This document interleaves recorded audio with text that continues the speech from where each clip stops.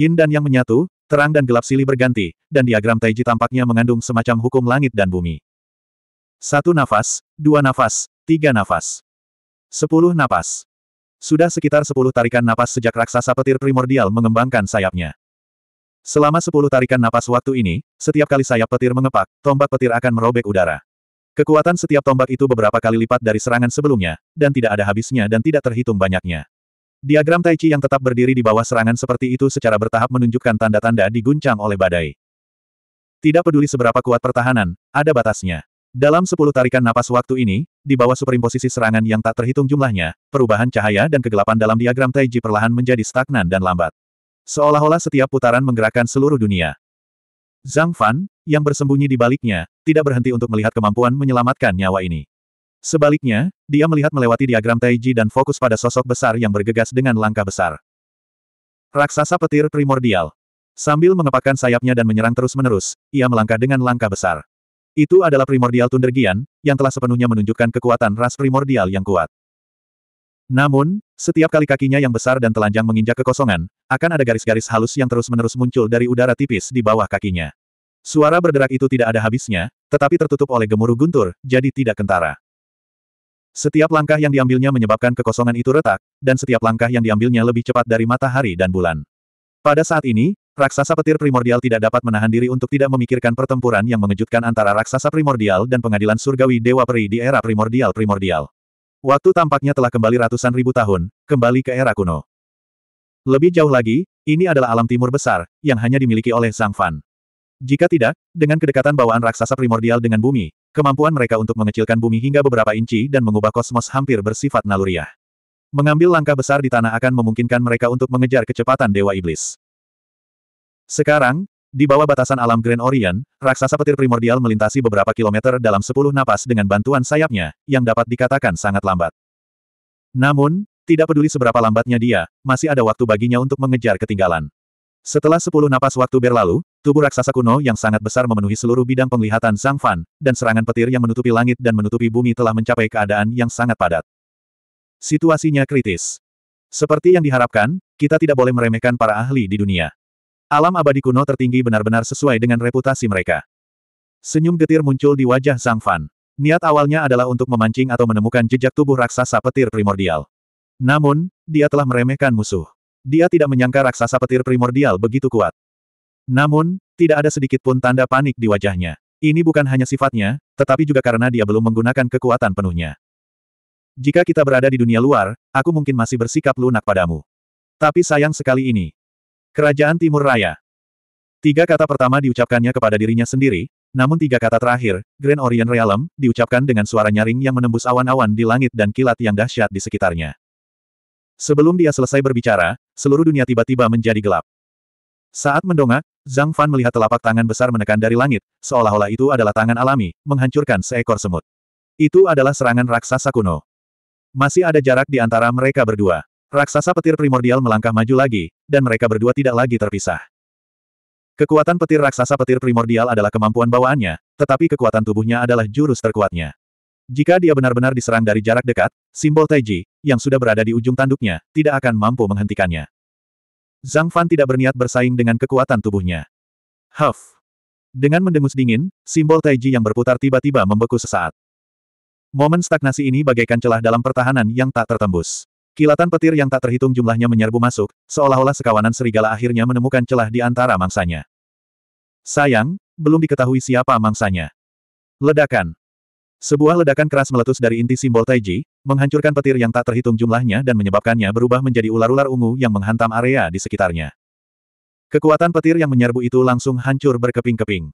Penyebab semua ini adalah tangan emas yang berkilauan yang tidak kalah dengan telapak tangan raksasa petir primordial. Setelah mengekstrak api matahari emas abadi dari pohon fusang, Zhang Fan menggunakan kekuatan penangkapan kibawaan.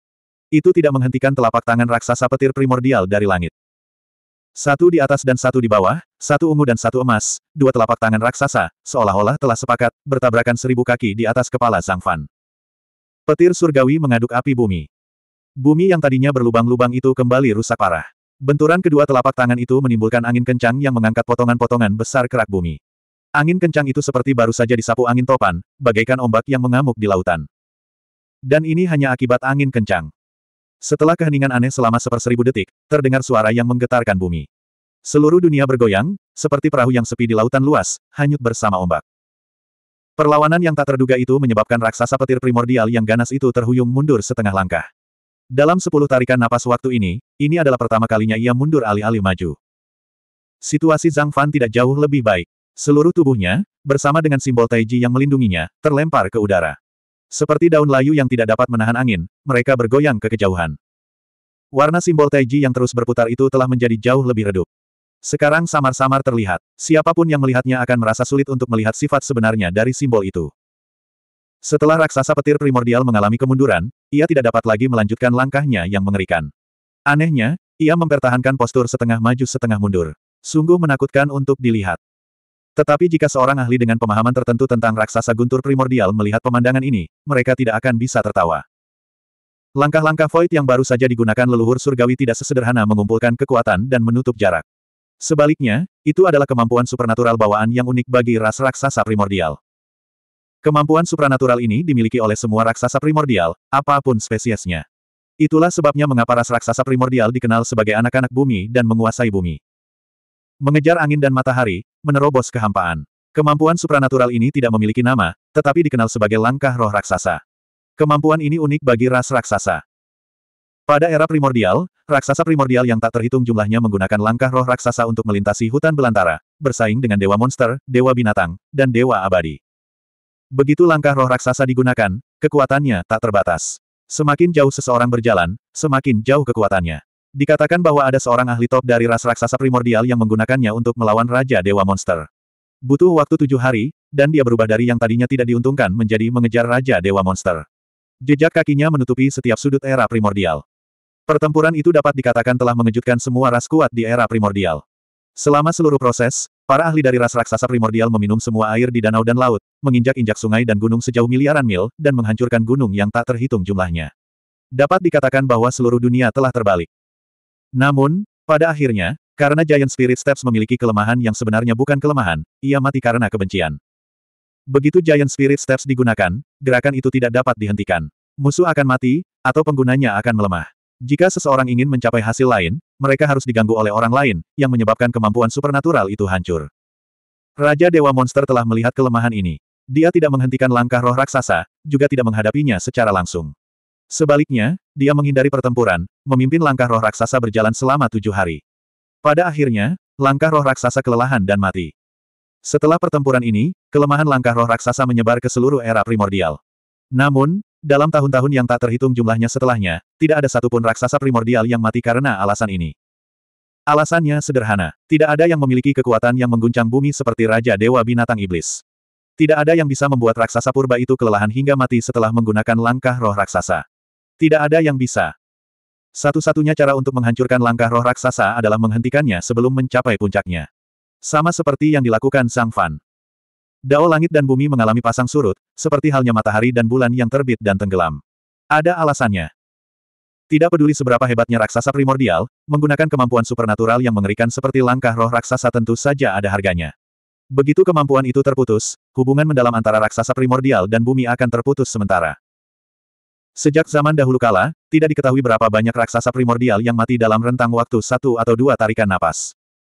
Saat tubuh raksasa petir primordial menegang, cahaya ilahi di mata Zhang Fan tiba-tiba membumbung tinggi. Seperti pedang, cahaya itu begitu tajam sehingga tidak ada yang berani menatapnya secara langsung. Jelas saja, itulah yang ada dalam pikirannya. Namun sebelum itu, Zhang Fan masih menghadapi krisis yang harus diatasi. Aku akan membunuhmu terlebih dahulu. Raksasa petir primordial melontarkan kalimat yang lengkap dan bermakna untuk pertama kalinya. Meski hanya tiga kata, kalimat itu langsung menyentuh hati Zhang Fan. Zhang Fan sangat menyadari apa yang dimaksudnya. Dia telah melihat rencana raksasa petir primordial dan bersiap untuk menyerang terlebih dahulu. Sungguh hebat leluhur Yu Song. Sungguh hebat tiga leluhur alam surgawi. Kau benar-benar punya rencana. Zhang Fan awalnya terkejut, lalu dia mengerti. Perubahan raksasa petir primordial bukan tanpa alasan. Seiring berjalannya waktu, leluhur alam surgawi yang telah mengorbankan diri mereka akan menggunakan hubungan garis keturunan mereka untuk menyatu lebih erat dengan raksasa petir primordial. Kemudian, raksasa petir primordial baru akan lahir dengan kesadaran gabungan dari mereka bertiga. Sekarang kesadaran raksasa guntur primordial berangsur-angsur terbangun, waktu itu akan tiba. Jika saat itu tiba, raksasa guntur primordial yang sudah tak tertandingi kekuatannya, akan menjadi sepuluh kali atau bahkan seratus kali lebih sulit untuk dihadapi. Bunuh aku. Sayangnya, Anda tidak akan memiliki kesempatan itu.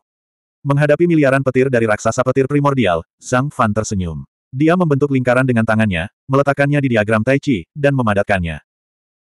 Dalam sekejap, sebuah jembatan emas menembus diagram Taiji yang tiba-tiba hancur dan kilat mengerikan yang turun dari langit. Jembatan itu terbebas dari semua hambatan, dan semua penghalang menjadi ilusi di depan jembatan emas yang melintasi semuanya. Burung itu melintasi ribuan mil dalam sekejap. Di ujung jembatan emas, burung itu mendarat di pohon berwarna merah kemasan. Lalu, terdengar suara burung gagak. 1222. Dengan suara gagak, bulan terbenam dan matahari terbit. Di pohon fusang, matahari merah mengembun dengan api kemasan tak terbatas dan melayang ke langit timur. Dalam sekejap mata, matahari sudah tinggi di langit, dan seluruh dunia diselimuti lapisan cahaya kemasan yang cemerlang. Di tengah matahari, api mengembun menjadi gagak emas berkaki tiga yang melebarkan sayapnya. Matahari adalah gagak emas, dan gagak emas adalah matahari. Tepat saat matahari terbit di titik tertinggi dan gagak emas berkokok dengan penuh kuasa, gagak emas matahari agung tiba-tiba berubah, digantikan oleh sosok yang tampak sangat mulia. Ia berdiri di puncak pohon fusang, tergantung di langit. Zhang penggemar. Pada saat itu, tatapan Zhang Fan tampak mengeras saat dia melihat ke bawah dari atas. Tanpa disadari, ada perasaan bahwa segala sesuatu di dunia ini seperti semut di telapak tangannya, dan bahwa dia dapat mengendalikan hidup dan mati hanya dengan hatinya. Ini adalah kekuatan pohon fusang, wujud Dharma gagak emas, dan roh baru lahir milik Zhang Fan. Bahkan Kaisar Iblis Purba tidak lebih dari ini. Inilah kekuatan Zhang Fan yang sebenarnya mengerikan setelah Naschen Spiritnya mencapai tahap Greater Mastery. Segala sesuatu terjadi dalam sekejap mata. Ketika roh primordial Zhang Fan dan Dharma Gagak Emas berputar di bawah sinar matahari, sepuluh ribu baut petir yang jatuh seperti badai dan diagram Taiji yang berada di ambang kehancuran setelah melepaskan jembatan emas baru saja hancur, meninggalkan gambaran ilusi yang belum sepenuhnya hilang. Saat gemuruh guntur memudar, seluruh alam Grand Orient tiba-tiba terdiam, bagai ketenangan yang menyesakkan sebelum badai. Raksasa petir primordial masih mempertahankan posturnya yang kaku dan mengangkat kepalanya untuk melihat matahari merah di langit. Raungan marah gagak emas telah berhenti di suatu titik, seolah-olah ia juga merasakan tekanan yang luar biasa turun dari langit, membuatnya sulit bernapas. Kekuatan Kaisar Iblis Setelah mengumpulkan pohon fusang dan wujud Dharma gagak emas, aura mendominasi yang dilepaskan Sang Fan akhirnya dapat disebut sebagai kekuatan Kaisar Iblis. Pada zaman purba, ras raksasa purba pernah mendominasi dunia selama bertahun-tahun yang tak terhitung jumlahnya. Hal itu terutama karena pembantaian para dewa monster sehingga mereka punah pada zaman purba. Mereka pernah menjadi nama yang samar dalam mitos dan legenda. Sekarang setelah merasakan aura yang dapat dikatakan sangat mendominasi bahkan di antara para dewa iblis, raksasa guntur primordial tampaknya telah membangkitkan kemarahan dan kebencian yang tersembunyi dalam garis keturunannya saat ia meraung. Ledakan. Suara itu mengguncang langit dan bumi, dan tanah dalam radius beberapa puluh mil retak. Batu-batu besar seukuran gunung kecil pecah dari bumi dan melayang di udara seringan bulu. Mereka bergetar sedikit, seolah-olah mereka dapat menembus langit kapan saja dan berubah menjadi meteor yang akan memusnahkan segalanya. Puff! Tidak seorang pun tahu apakah raksasa guntur purba itu telah berteriak sekali dan semua orang telah mendengarnya, atau apakah ia telah berteriak terus-menerus dan menggunakan kemampuan ilahi garis keturunan raksasanya untuk membuat seluruh gunung dan sungai menjadi marah. Dalam rentang waktu singkat satu atau dua tarikan napas, sungai-sungai yang tak terhitung jumlahnya terputus, gunung-gunung yang tak terhitung jumlahnya hancur, dan bebatuan yang tersembunyi jauh di dalam tanah beterbangan ke angkasa, menutupi langit. Jika kekuatan semacam ini ada di salah satu provinsi di tanah sembilan prefektur, batu-batu besar ini saja akan mampu menghancurkan kota-kota yang tak terhitung jumlahnya dan memusnahkan jutaan makhluk hidup. Namun di sini, hanya kemampuan ilahi raksasa guntur primordial yang ditujukan pada Zhang Fan. Raksasa petir primordial tidak berhenti setelah memindahkan batu-batu besar yang tak terhitung jumlahnya di tanah. Ia berhenti meraung, dan seolah-olah telah menggunakan semua kekuatan di tubuhnya, ia dengan ganas mengepakkan sayap petir di belakangnya. Ledakan. Suara guntur meledak, dan sepasang sayap petir yang padat hingga batas kehancuran menjadi tipis sebagai respons, seolah-olah kekuatan petir di dalamnya telah menghilang. Batu-batu besar yang tak terhitung jumlahnya menari-nari di langit semuanya terbentuk dari kilatan petir ungu yang muncul begitu saja.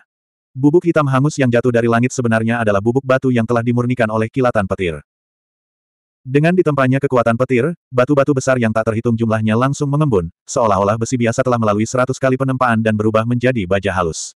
Ditambah dengan bantuan petir, kekuatan batu-batu besar ini meningkat sepuluh kali lipat entah dari mana. Bahkan di celah langkah roh raksasa yang terputus, raksasa petir primordial masih mampu mengeluarkan kekuatan yang mengerikan dalam sekejap. Ia benar-benar sesuai dengan reputasinya sebagai ras primordial tertinggi. Sungguh bakat yang hebat, sungguh kemampuan ilahi yang hebat, sungguh raksasa guntur primordial yang hebat. Suara agung yang samar-samar menyerupai gemuruh lonceng perunggu dan teriakan burung gagak emas tiba-tiba bergema di antara langit dan bumi, bertahan lama dan menyebar ke setiap sudut alam timur besar.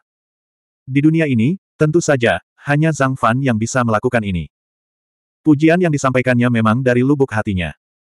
Harus diketahui bahwa di alam timur besar, ini adalah dunianya yang unik, dan raksasa petir primordial mampu menggunakan kekuatan garis keturunannya untuk secara paksa menggerakkan kekuatan bumi. Itu memang mengerikan. Bahkan jika itu adalah Zhang Fan, dia tidak yakin bahwa dia bisa menahan serangan ini tanpa cedera. Namun, dia tidak perlu melakukannya. Bagaimana mungkin dia tidak siap ketika dia memikat raksasa petir primordial ke alam timur besar? Kekuatan transformasi dunia jelas bukan hanya apa yang telah dia tunjukkan. Berikan padaku. Jatuh. Zhang Fan yang diselimuti cahaya matahari tersenyum dan menekan ke bawah dengan telapak tangannya. Legenda mengatakan bahwa Dewa Peri Primordial memiliki kekuatan luar biasa yang dapat berbicara tentang hukum. Setiap kata yang mereka ucapkan adalah kemampuan ilahi yang luar biasa yang meminjam kekuatan langit dan bumi, dan tidak ada yang dapat menolaknya. Pada saat itu, kata, jatuh, yang keluar dari mulut Zhang Fan tidak kalah sedikit pun dari para dewa peri. Pada saat yang hampir bersamaan ketika kata, jatuh, bergema, batu-batu petir raksasa yang menutupi langit seperti sekawanan burung membeku serempak, dan menghentikan momentum ke atas mereka. Tidak peduli seberapa keras petir itu meraung, mereka tidak bergerak sedikit pun, dan seolah-olah mereka telah dilucuti dari kendali raksasa petir kuno itu. Kenyataannya, saat telapak tangan Zhang Fan terjatuh, batu-batu besar itu seakan langsung merasakan tarikan bumi, bergetar hebat sesaat sebelum akhirnya runtuh. Pohon, pohon, pohon. Suaranya memekakkan telinga dan menggetarkan bumi, seakan-akan seluruh alam semesta akan terbalik. Ratusan juta batu besar jatuh dari langit seperti hujan meteor yang tiada henti, turun ke alam Grand Orient. Karena batu-batu besar itu terlalu berat dan mengandung terlalu banyak tenaga, ditambah dengan peningkatan gaya tarik yang tiba-tiba, banyak di antara batu-batu itu bahkan terbakar dalam api merah saat jatuh, seolah-olah mengalami gesekan yang hebat. Dalam sekejap mata, gunung-gunung dan hutan-hutan yang tak terhitung jumlahnya telah rata dengan tanah. Beberapa saat yang lalu, danau-danau telah terangkat menjadi gunung-gunung, dan apa yang dulunya dataran telah berubah menjadi jurang-jurang. Di bawah kekuatan yang dapat menghancurkan langit dan bumi, bumi hancur tak terelakkan. Ketika kekuatan yang mengguncang bumi mereda, ada banyak lubang dalam dan dangkal di tanah, besar dan kecil. Semuanya hangus menghitam, dan beberapa di antaranya masih terbakar membandel. Di sinilah batu-batu besar itu mendarat.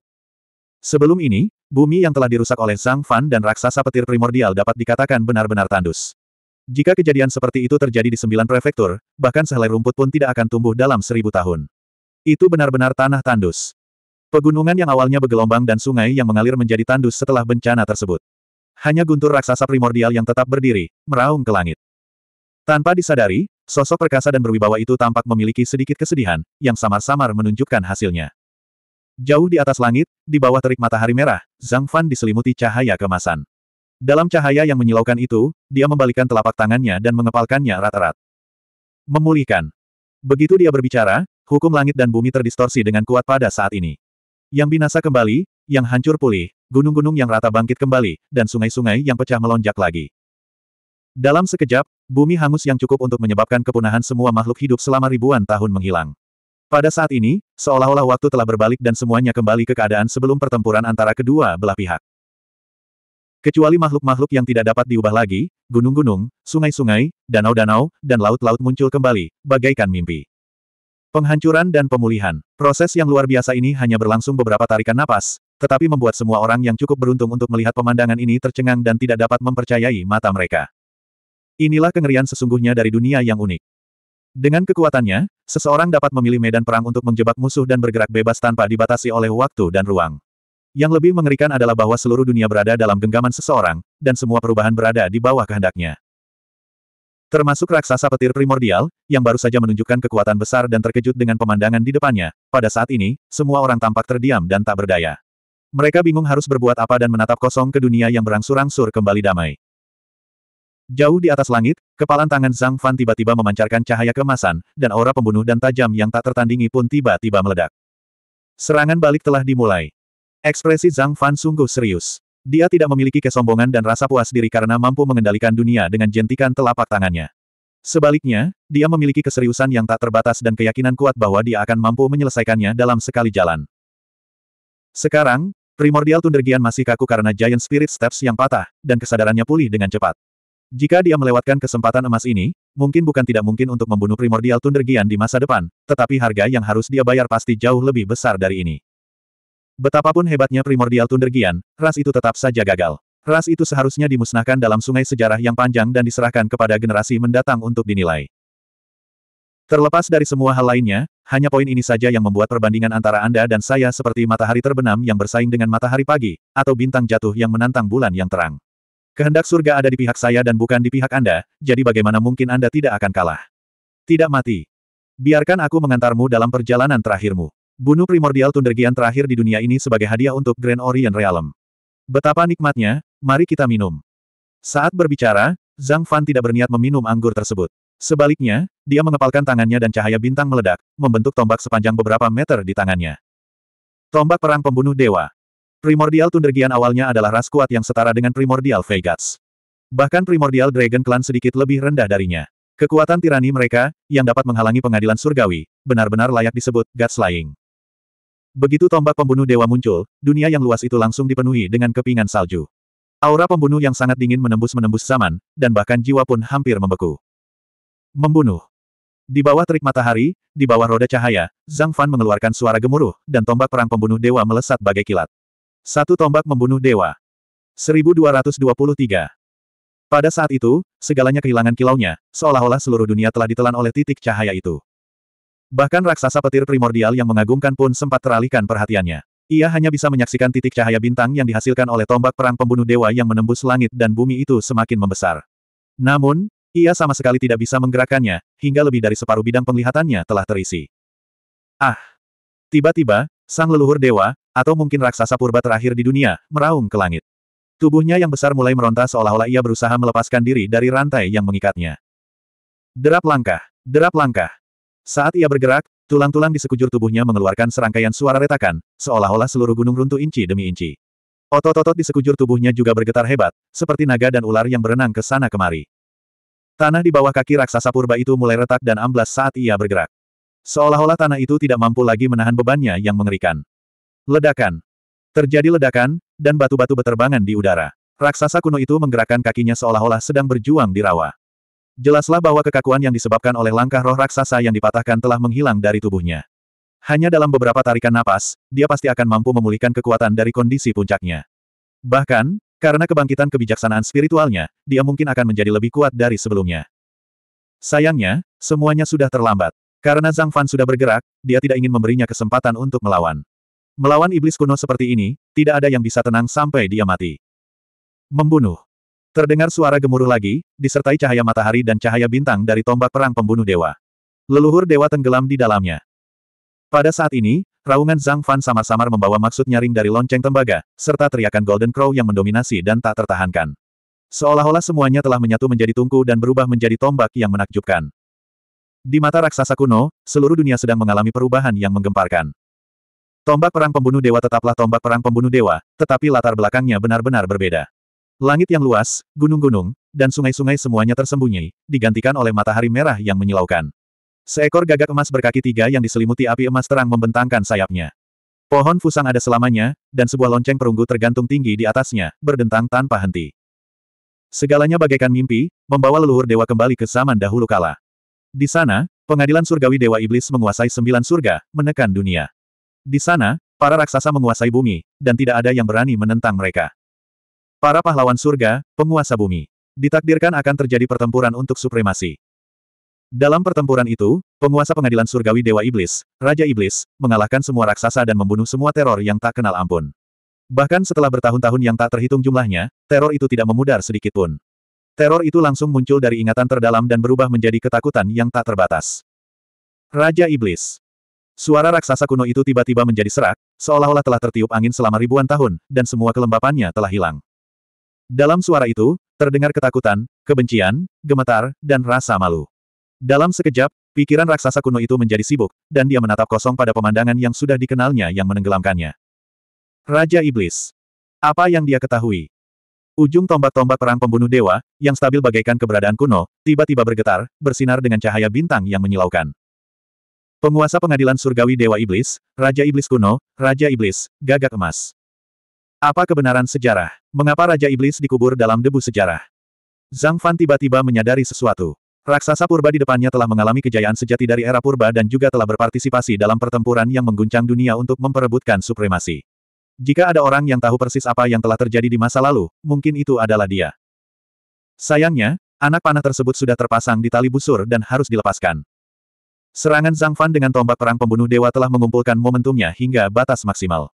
Kekuatan Dharma, roh primordial, dan semua yang lain telah dikerahkan. Zhang Fan hanya bisa hidup atau mati. Tidak ada jalan kembali.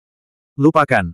Sambil mendesah, getaran tombak perang pembunuh dewa tiba-tiba menghilang, dan menjadi stabil seperti gunung Tai lagi. Ketika cahaya bintang mencapai puncaknya, ia sudah dekat dengan dada raksasa kuno itu. Raja Iblis, mengeluarkan goncangan yang tidak dapat disembunyikan oleh angin dan es di zaman kuno, dan juga merenggut nyawa terakhir raksasa kuno itu. Ketika sebuah kata samar keluar dari mulutnya, tombak yang berisi seluruh kekuatan Zhang Fan telah terbenam di dadanya. Meluangkan. Simpan. Zhang Fan tersenyum. Mungkinkah kau mengampuni nyawaku? Pertanyaan ini tidak akan pernah ada jawabannya. Mata raksasa kuno itu tiba-tiba menjadi kosong, dan tubuhnya yang besar terangkat ke udara oleh kekuatan yang tak tertandingi. Gemuruh. Di depan raksasa kuno itu, seolah-olah bajak besar telah disekop, tanah tiba-tiba terbelah menjadi dua. Dia terus-menerus berjuang, namun dia tidak dapat menghentikan tombak perang pembunuh dewa yang telah menancap di dadanya, dan dia pun terpental. Tombak itu seperti naga berbisa, bergetar tanpa henti seolah-olah akan menembus dada raksasa itu. Raksasa kuno itu meraung dan mencengkeram tombak itu erat-erat dengan kedua tangannya. Tiba-tiba, Kekuatannya meledak, mencegah tombak itu menembus lebih dalam. Kedua kekuatan itu terkunci dalam jalan buntu, mendorong tubuh raksasa kuno itu puluhan mil jauhnya dalam sekejap. Raksasa kuno itu benar-benar ulet. Zhang Fan memuji dalam hati, dan mengangkat kakinya. Dia sama sekali tidak tampak kesal karena dia tidak membunuh raksasa kuno itu dalam satu pukulan, dan malah terjebak dalam kebuntuan yang aneh. Langkah itu sangat tenang. Namun, langkah santai inilah yang mengakibatkan efek berubahnya langit dan bumi. Dia mengangkat kakinya dan mendarat. Ledakan. Dunia jungkir balik, gunung-gunung dan sungai-sungai berguncang. Dalam sekejap mata, dunia telah berubah. Jarak antara Zhang Fan, raksasa kuno, dan tombak perang pembunuh dewa tidak berubah. Seolah-olah mereka telah diteleportasi dari timur ke pusat tanah keluarga Si. Bayangan besar yang dihasilkan oleh tubuh besar raksasa kuno itu menyapu sebuah prasasti batu ungu kuno. Zhang Fan tiba-tiba berhenti, dan matanya terfokus pada lempengan batu ungu itu. Dia berbicara, dan gelombang suara yang bergulung-gulung itu menyapu seluruh dunia. Penatua Dabei, jika kau tidak bergerak sekarang, kapan? Kapan, kamu, akan? Gelombang suara bergema di dunia untuk waktu yang lama. Seolah-olah dirangsang oleh gelombang suara, prasasti batu keluarga Zi, yang telah tertidur seperti benda mati, tiba-tiba bersinar terang. Huh, kasihan sekali Dabei, tanpa peri itu, aku masih harus mempertaruhkan nyawaku untukmu. Aku sungguh menyedihkan. Huh, peri, tablet kecilmu sungguh menyedihkan. Tiba-tiba terdengar suara aneh di dunia, dan seiring dengan suara itu, ekspresi raksasa kuno itu pun berubah. Dia bisa dengan jelas merasakan aura kuat muncul di belakangnya, dan aura itu sangat dekat. Karena tidak berani melepaskan tombak perang pembunuh dewa, raksasa kuno itu menoleh dengan kaku, dan melihat ke belakang. Ia melihat lempengan batu ungu tiba-tiba mengembang, dan dari lempengan batu biasa, menjadi setinggi pilar di langit. Di tablet itu, muncul sebaris kata berwarna ungu emas. Tablet ilahi keluarga si pusat.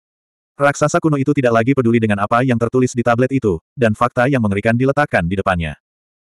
Saat lempengan batu itu mengembang, jalan mulus di belakangnya yang awalnya terbang mundur tiba-tiba terhalang oleh gunung raksasa. Entah lempengan batu itu hancur olehnya, atau dia terhalang oleh lempengan batu itu, tidak dapat terus menggunakan kekuatan mengerikan dari tombak perang pembunuh dewa, dan terbunuh olehnya. Sebelum dia bisa menyelesaikan pikirannya, dia melihat wajah asing muncul di tablet ilahi keluarga si pusat. Alisnya kusut, rambutnya berantakan, dan sudut mulutnya terkulai. Mata kecilnya dipenuhi dengan kilatan licik, dan dia tampak sangat menyedihkan dan menyedihkan. Siapa lagi kalau bukan tetua Dabei? Ledakan. Petik 2. Dengan suara keras, tablet ilahi keluarga si pusat bergetar, bumi bergetar, dan alam timur raya bergetar. Wajah tetua Dabei yang muncul di tablet ilahi keluarga si pusat berubah menjadi wajah datar yang aneh, dan tubuh besar raksasa kuno itu menabrak langsung tablet ilahi keluarga si. Bagaikan api yang berkobar membakar kayu bakar kering, bagaikan air mendidih yang masuk ke dalam minyak mendidih, cahaya ungu pada prasasti ilahi istana ungu tiba-tiba meledak, dan memancarkan kekuatan mengerikan yang bahkan membuat Zhang Fan tergerak. Tablet ilahi keluarga Si, harta langka dari dunia abadi. Ekspresi Zhang Fan berubah serius sejenak sebelum dia tersenyum. Dia tidak pernah menyangka bahwa raksasa kuno itu akan mampu lolos dari jebakan maut ini. Saat dia memasuki alam timur raya, semuanya telah diputuskan. Matilah kau, raksasa purba. Sebelum dia selesai berbicara, sebuah suara gemuruh membelah langit dan bumi. Tablet ilahi keluarga Si Pusat, raksasa petir primordial, dan tombak perang pembunuh dewa tampaknya telah menyatu menjadi satu pada saat itu. Tombak perang pembunuh dewa membawa raksasa kuno dan menusuk tablet ilahi keluarga Si. Cahaya bintang meletus, niat membunuh mengguncang bintang-bintang, dan cahaya matahari menghapus segalanya. Diblokir oleh Purple Mansion Divine Stellar, raksasa purba itu langsung menahan serangan terkuat God Slaying War Spear yang berisi semua kekuatan Sang Fan. Mati dalam satu serangan. Saat pergumulan itu berangsur-angsur berhenti, kepala raksasa kuno itu perlahan terkulai, dan aura mengerikan itu menghilang tertiup angin. Namun, saat teriakan itu berhenti, raksasa kuno terakhir di dunia itu telah jatuh ke tombak Sang Fan. Ike-ike. Teman muda Sang, kamu benar-benar kejam. Apakah kamu mencoba mengambil nyawaku? Tetua Dabei berteriak dengan keras. Saat suaranya terdengar, tablet ilahi keluarga Si tengah menyusut, dan raksasa primordial dan tombak perang pembunuh dewa yang tergantung di atasnya jatuh ke tanah. Oh, Tetua Dabei, kau masih kuat meski sudah tua. Bagaimana kau bisa mati semudah itu? Zhang Fan tersenyum dan menggoda, tetapi senyum di matanya tulus. Dulu, saat dia menyatukan tablet ilahi keluarga Si dengan pohon fusang dan memurnikannya menjadi roh baru, tetua Dabe sudah bangun, tetapi dia belum sempat menyambutnya. Siapakah yang mengira bahwa sapaannya akan begitu menggemparkan? Dengan penglihatan Zhang Fan, dia dapat melihat dengan jelas bahwa ada lubang besar yang jelek di tablet ilahi keluarga Si tengah. Itu adalah tanda yang tertinggal di tablet ilahi keluarga Si setelah tombak perang pembunuh dewa menembus tubuh raksasa kuno itu. Saat tablet ilahi keluarga Zi menyusut, cahaya ungu di sekitar lubang yang disebabkan oleh tombak perang pembunuh dewa memutar dan meratakannya seperti otot makhluk hidup. Ketika kembali ke ukuran semula, ia menjadi sehalus sebelumnya, dan tidak ada bekasnya sama sekali. Penatua Dabei, Anda sungguh hebat. Zhang Fan bertepuk tangan dan tersenyum. Ia terkesan dengan Penatua Dabei. Menggunakan tubuh roh artefak untuk secara paksa memperbaiki dan menghapus kerusakan pada harta karun, dan melakukannya dengan begitu saja, hal itu sungguh tidak pernah terdengar. Teman muda Zhang, kamu terlalu baik. Selama kamu tidak menggunakan aku sebagai tameng, Dabei akan sangat berterima kasih. Tetua Dabei bagaikan seorang istri yang kesal. Ia tak henti-hentinya mengeluh begitu membuka mulut. Hahaha. Mendengar itu, Zhang Fan tertawa terbahak-bahak. Tawanya bergema di antara langit dan bumi, dan penuh dengan kegembiraan dan keceriaan yang tak terlukiskan. Pandangannya turun ke bawah dan fokus pada tubuh raksasa kuno itu. Di sana, ada harta karun yang telah lama ia idam-idamkan. 1224. Hahaha. Di tengah tawa Zhang Fan yang meriah, tubuh besar raksasa purba itu jatuh ke tanah, seakan-akan ada gunung yang jatuh dari langit, menimbulkan suara gemuruh yang keras. Suara keras ini juga menandakan bahwa 50 tahun kultivasi dan pertempuran Zhang Fan di alam awan telah berakhir.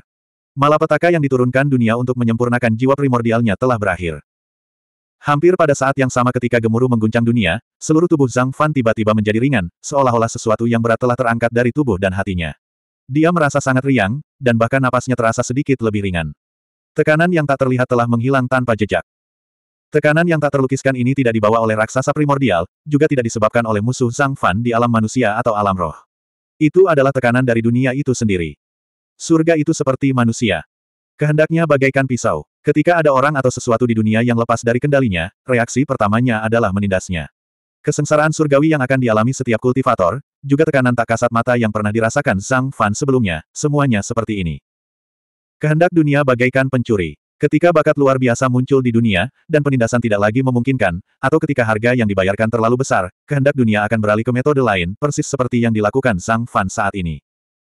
Jika penindasan gagal, itu akan memberikan kebaikan, seolah-olah telah diperbaiki. Pada saat ini, indera spiritual Zhang Fan telah meningkat beberapa tingkat tanpa terasa.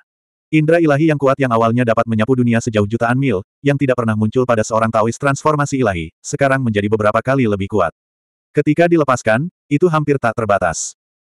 Ini bukanlah lompatan kekuatan dalam tubuhnya sendiri, tetapi pertumbuhan harmoni dengan dunia, bagaikan estafet dunia. Hanya Zhang Fan sendiri yang mengetahui perubahan spesifik dalam tubuhnya. Penindasan keinginan dunia telah berubah menjadi dukungan, tetapi orang lain juga dapat melihat beberapa petunjuk melalui perubahan eksternal. Hah! Tetua Dabei dan Sutong berseru bersamaan. Mata Meniu dan Perimoling juga berputar, memfokuskan semua pandangan mereka ke sekeliling Sang Fan. Itu terkurung di dalam dan dilepaskan keluar. Tentu saja ada fenomena aneh di dunia. Pada saat yang sama ketika Zhang Fan merasakan sesuatu, alam Grand Orient tiba-tiba dipenuhi gumpalan kabut yang membelit, seolah-olah memiliki ikatan tak terbatas, yang mengelilingi tubuhnya. Kabut ini terbentuk dalam sekejap, tanpa peringatan atau proses apa pun. Kabut ini muncul dengan sangat tiba-tiba, seolah-olah alam timur raya memang selalu seperti ini. Di bawah naungan asap tipis ini, wajah Zhang Fan menjadi kabur. Seolah-olah 50 tahun telah berlalu di matanya yang dalam. 50 tahun yang lalu, ia membuat perjanjian selama 50 tahun dengan Taois Korski, yang telah melarikan diri dari Thunder Cliff dan memiliki 18 mayat emas. Setelah itu, ia datang ke alam di antara awan. Mengandalkan kesempatan yang telah dilihatnya di Sungai Takdir, ia mencari jalan menuju pendewaan. Di lima provinsi awan besar, manusia surgawi telah memperbudak manusia sombong yang telah melupakan ras manusia. Pada zaman dahulu, klan surgawi telah meninggalkan sembilan prefektur yang jauh dari dunia manusia, berjuang di ambang kematian. Harta karun kolam awan, roh Yuan yang murni, pohon mulberry gerbang langit, panah sepuluh matahari, dan menggunakan tubuhnya untuk menggantikannya. Akhirnya, ia telah mencapai kesuksesan besar, mencapai alam timur besar yang belum pernah terjadi sebelumnya. Adegan-adegan yang seperti pantulan di danau itu melintas begitu saja, seakan-akan sangat dalam dan terukir di hatinya. Namun, adegan-adegan itu juga seperti awan yang berlalu begitu saja, berlalu begitu saja. Huf!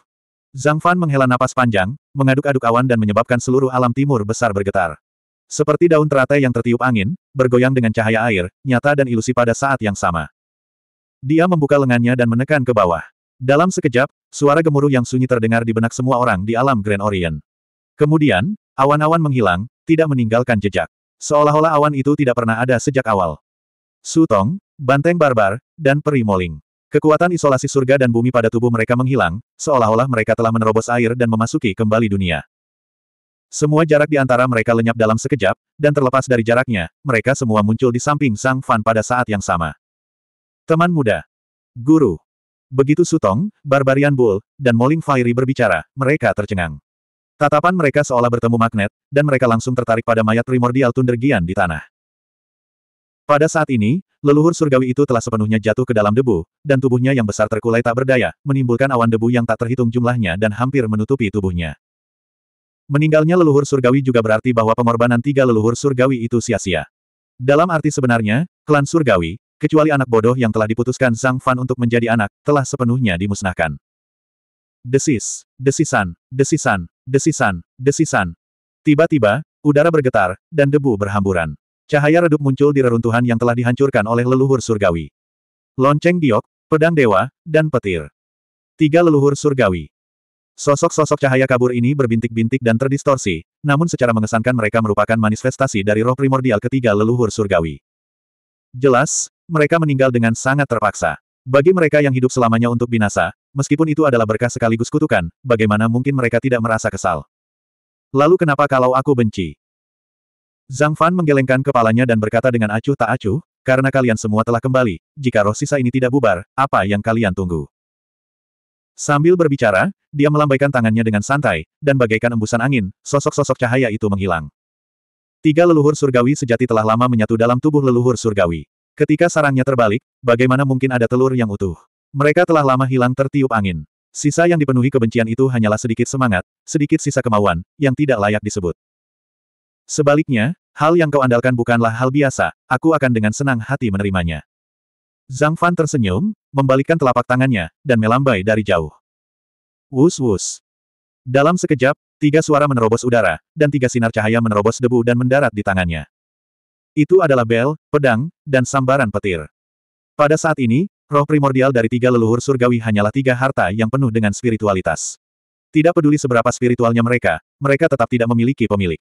Zhang Fan melambaikan lengan bajunya dan tiga roh primordial dimasukkan ke dalam lengan bajunya. Pada saat yang sama, dia berpikir dalam hati, selama bertahun-tahun, aku belum memberikan sesuatu yang baik kepada Siruo. Sekarang setelah aku memiliki tiga benda ini, aku dapat memurnikannya dan mengubahnya menjadi tiga harta karun utama untuk digunakan Siruo. Di dunia luar, bahkan Daulord Formasi Jiwa akan memperebutkan ketiga benda ini. Saat ini, bagi Zhang Fan, benda-benda ini hanyalah hal-hal kecil yang membuat si cantik tersenyum. Tujuannya yang sebenarnya bukanlah ini. Jika hanya ini, mengapa ia mau bersusah payah dan mengambil risiko untuk memancing keluar para leluhur surgawi?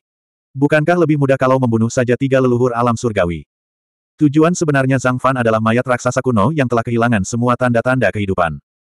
Ini, ini, ini adalah setelah Zhang Fan menyimpan tiga harta dan membubarkan kesadaran leluhur surgawi, segalanya tiba-tiba menjadi jelas. Semua orang, termasuk Sutong yang berpengalaman dan berpengetahuan, sedikit tergagap melihat apa yang mereka lihat. Mereka bahkan tidak dapat berbicara dengan lancar, jelas terkejut dengan pemandangan di depan mereka. Kedengarannya seperti waktu yang lama, tetapi pada kenyataannya, hanya sesaat telah berlalu sejak raksasa guntur kuno itu terbunuh oleh tombak pembunuh dewa milik Zhang Fan. Getaran yang disebabkan oleh tubuh gunung yang menghantam tanah masih menyebar jauh dan luas. Dalam waktu yang begitu singkat, raksasa guntur kuno, yang beberapa saat yang lalu tampak agung dan sombong, telah mengalami transformasi yang mengejutkan dengan kecepatan yang akan membuat siapa pun tercengang. Yang terbaik, yang terbaik, yang terbaik, yang terbaik. Hal ini terjadi karena tubuh utama dari tubuh raksasa ini terus-menerus membatu. Dalam sekejap, tubuh itu retak dan membengkak dengan retakan berbintik-bintik. Bongkahan batu besar menyembul keluar, dan semua rasa daging menghilang. Yang tersisa hanyalah warna coklat tua dan putih keabu-abuan. Sekilas, tubuh raksasa guntur kuno itu tampak seperti telah terkubur di dalam tanah sejak zaman dahulu. Setelah bertahun-tahun dibaptis dan berlalunya waktu, ia telah berubah menjadi fosil. Selain pegunungan yang membatu ini, ada juga rambut yang jatuh ke bawah. Seperti hujan yang jatuh dari langit, lalu menghilang ke dalam tanah. Pada saat yang sama, hamparan pohon besar tumbuh seperti rebung setelah hujan. Di antaranya, ada bunga yang mekar seperti rumpun brokat, daun yang seperti kanopi, semak yang jarang, dan hutan hujan yang lebat. Jumlah mereka sangat banyak. Kalau ada orang sekuat Zhang Fan, dengan satu pikiran saja, dia pasti akan menemukan bahwa tak peduli bunga bermekaran atau daun berguguran, rimbun atau jarang, jumlah pohon sama saja dengan jumlah rambut yang rontok dari raksasa petir kuno. Tidak ada perbedaan antara keduanya. Ketika rambut rontok, pohon-pohon tumbuh, menunjukkan kekuatan penciptaan yang luar biasa, berubah menjadi teknik ilahi untuk layu dan berkembang. Seperti yang diharapkan dari putra bumi. Ini kembali ke asal, hukum surga. Pikiran ilahi yang kuat melintas. Kilatan pemahaman melintas di mata Zhang Fan saat dia bergumam pada dirinya sendiri. Terbangun oleh sapuan pikiran ilahinya, Sutong dan yang lainnya pulih dari keterkejutan mereka dan diam-diam melihat perubahan yang belum selesai di hadapan mereka. Ketika mata mereka bertemu, cahaya matahari, bulan, dan bintang muncul, terbenam ke dalam tanah dan berubah menjadi permata. Ketika setetes air mata jatuh ke dalam cekungan, terbentuklah danau yang berkilauan. Ketika darah meresap ke dalam tanah, makhluk hidup pun lahir. Ketika keringat membasahi tanah, ia berubah menjadi sungai. Semua ini terjadi silih berganti. Seperti metabolisme alami. Tidak ada rasa enggan sama sekali, dan dilakukan secara konsisten. Dalam waktu kurang dari sepuluh napas, raksasa guntur kuno itu benar-benar menghilang di depan semua orang. Hanya pegunungan, banyak sungai, tambang besar, hutan lebat, dan makhluk hidup yang tersisa. Penciptaan alam bagaikan suara surga, meresap ke dalam hati setiap orang. Bahkan ketika raksasa guntur kuno masih hidup, itu masih jauh dari mencapai tingkat yang begitu mendalam. Bahkan Zhang Fan pun terdiam beberapa saat ketika melihat pemandangan ini, seolah-olah dia masih tenggelam dalam pemahaman yang tidak dapat dijelaskan. Setelah waktu yang sangat lama, sebuah suara terkejut memasuki telinga semua orang. Itu adalah patua kesedihan besar yang telah berhenti mengomel pada suatu saat dan terkejut setelah mengamati dengan saksama pemandangan di hadapannya. Teman baik, ini adalah raksasa purba sungguhan. Suara tetua Dabe tiba-tiba menjadi serius, dan dia berseru, teman kecil Zhang, dari mana kamu mendapatkan orang besar ini? Dia penuh dengan harta karun. Menurut pemikirannya, yang mati di tangan Zhang Fan adalah makhluk hidup dengan garis keturunan raksasa, yang telah mengaktifkan garis keturunannya dan kembali ke leluhurnya untuk waktu yang singkat. Sekalipun kuat, itu tidak punya banyak arti. Sekarang setelah leluhur surgawi itu meninggal dan berubah menjadi segala sesuatu, dia segera menyadari bahwa pemikiran awalnya salah. Ini bukanlah garis keturunan raksasa. Itu jelas merupakan raksasa kuno asli yang telah menghilang dari dunia selama bertahun-tahun yang tak terhitung jumlahnya. Kata-katanya menarik semua orang kembali dari keadaan pemahaman yang tak terlukiskan itu. Orang pertama yang kembali sadar adalah Barbarian Bull, orang yang tidak memiliki kecerdasan sama sekali, yang memiliki tunggangan besar sebagai tujuan tertingginya. Awalnya, tatapannya kosong, dan dia melirik tuannya, ingin mencoba. Namun sebelum dia bisa melangkah, dia gugup, takut mengganggu Zhang Fan. Setelah ragu-ragu cukup lama, dia pindah ke sisi Sutong dan bertanya dengan suara rendah, Paman tua, katakan padaku, apa yang terjadi? Tapi orang besar itu belum mati. Apakah dia ingin melawan tuanku lagi? Kamu harus meminta izin pada banteng tua ini.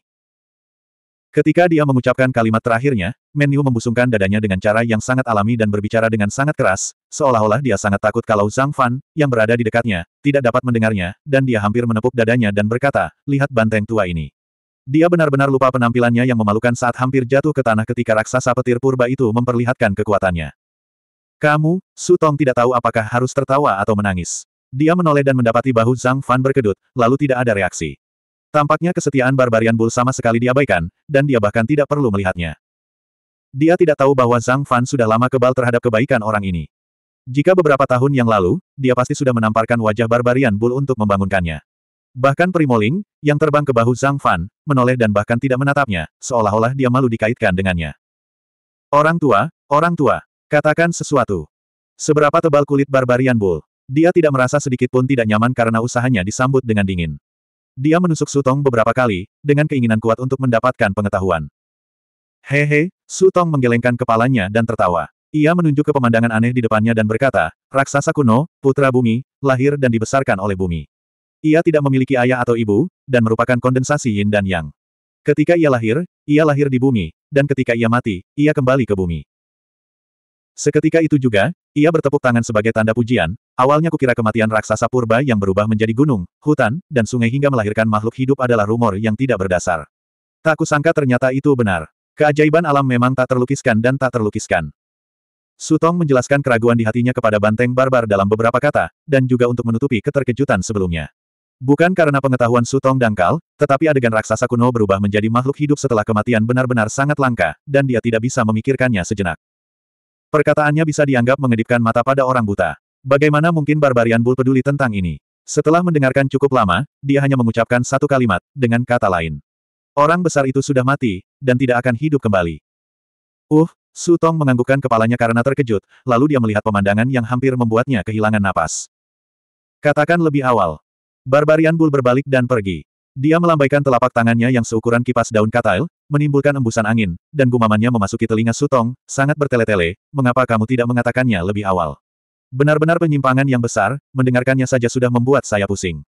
Sutong akhirnya berhasil mengatur napasnya, dan hanya merasakan giginya gatal.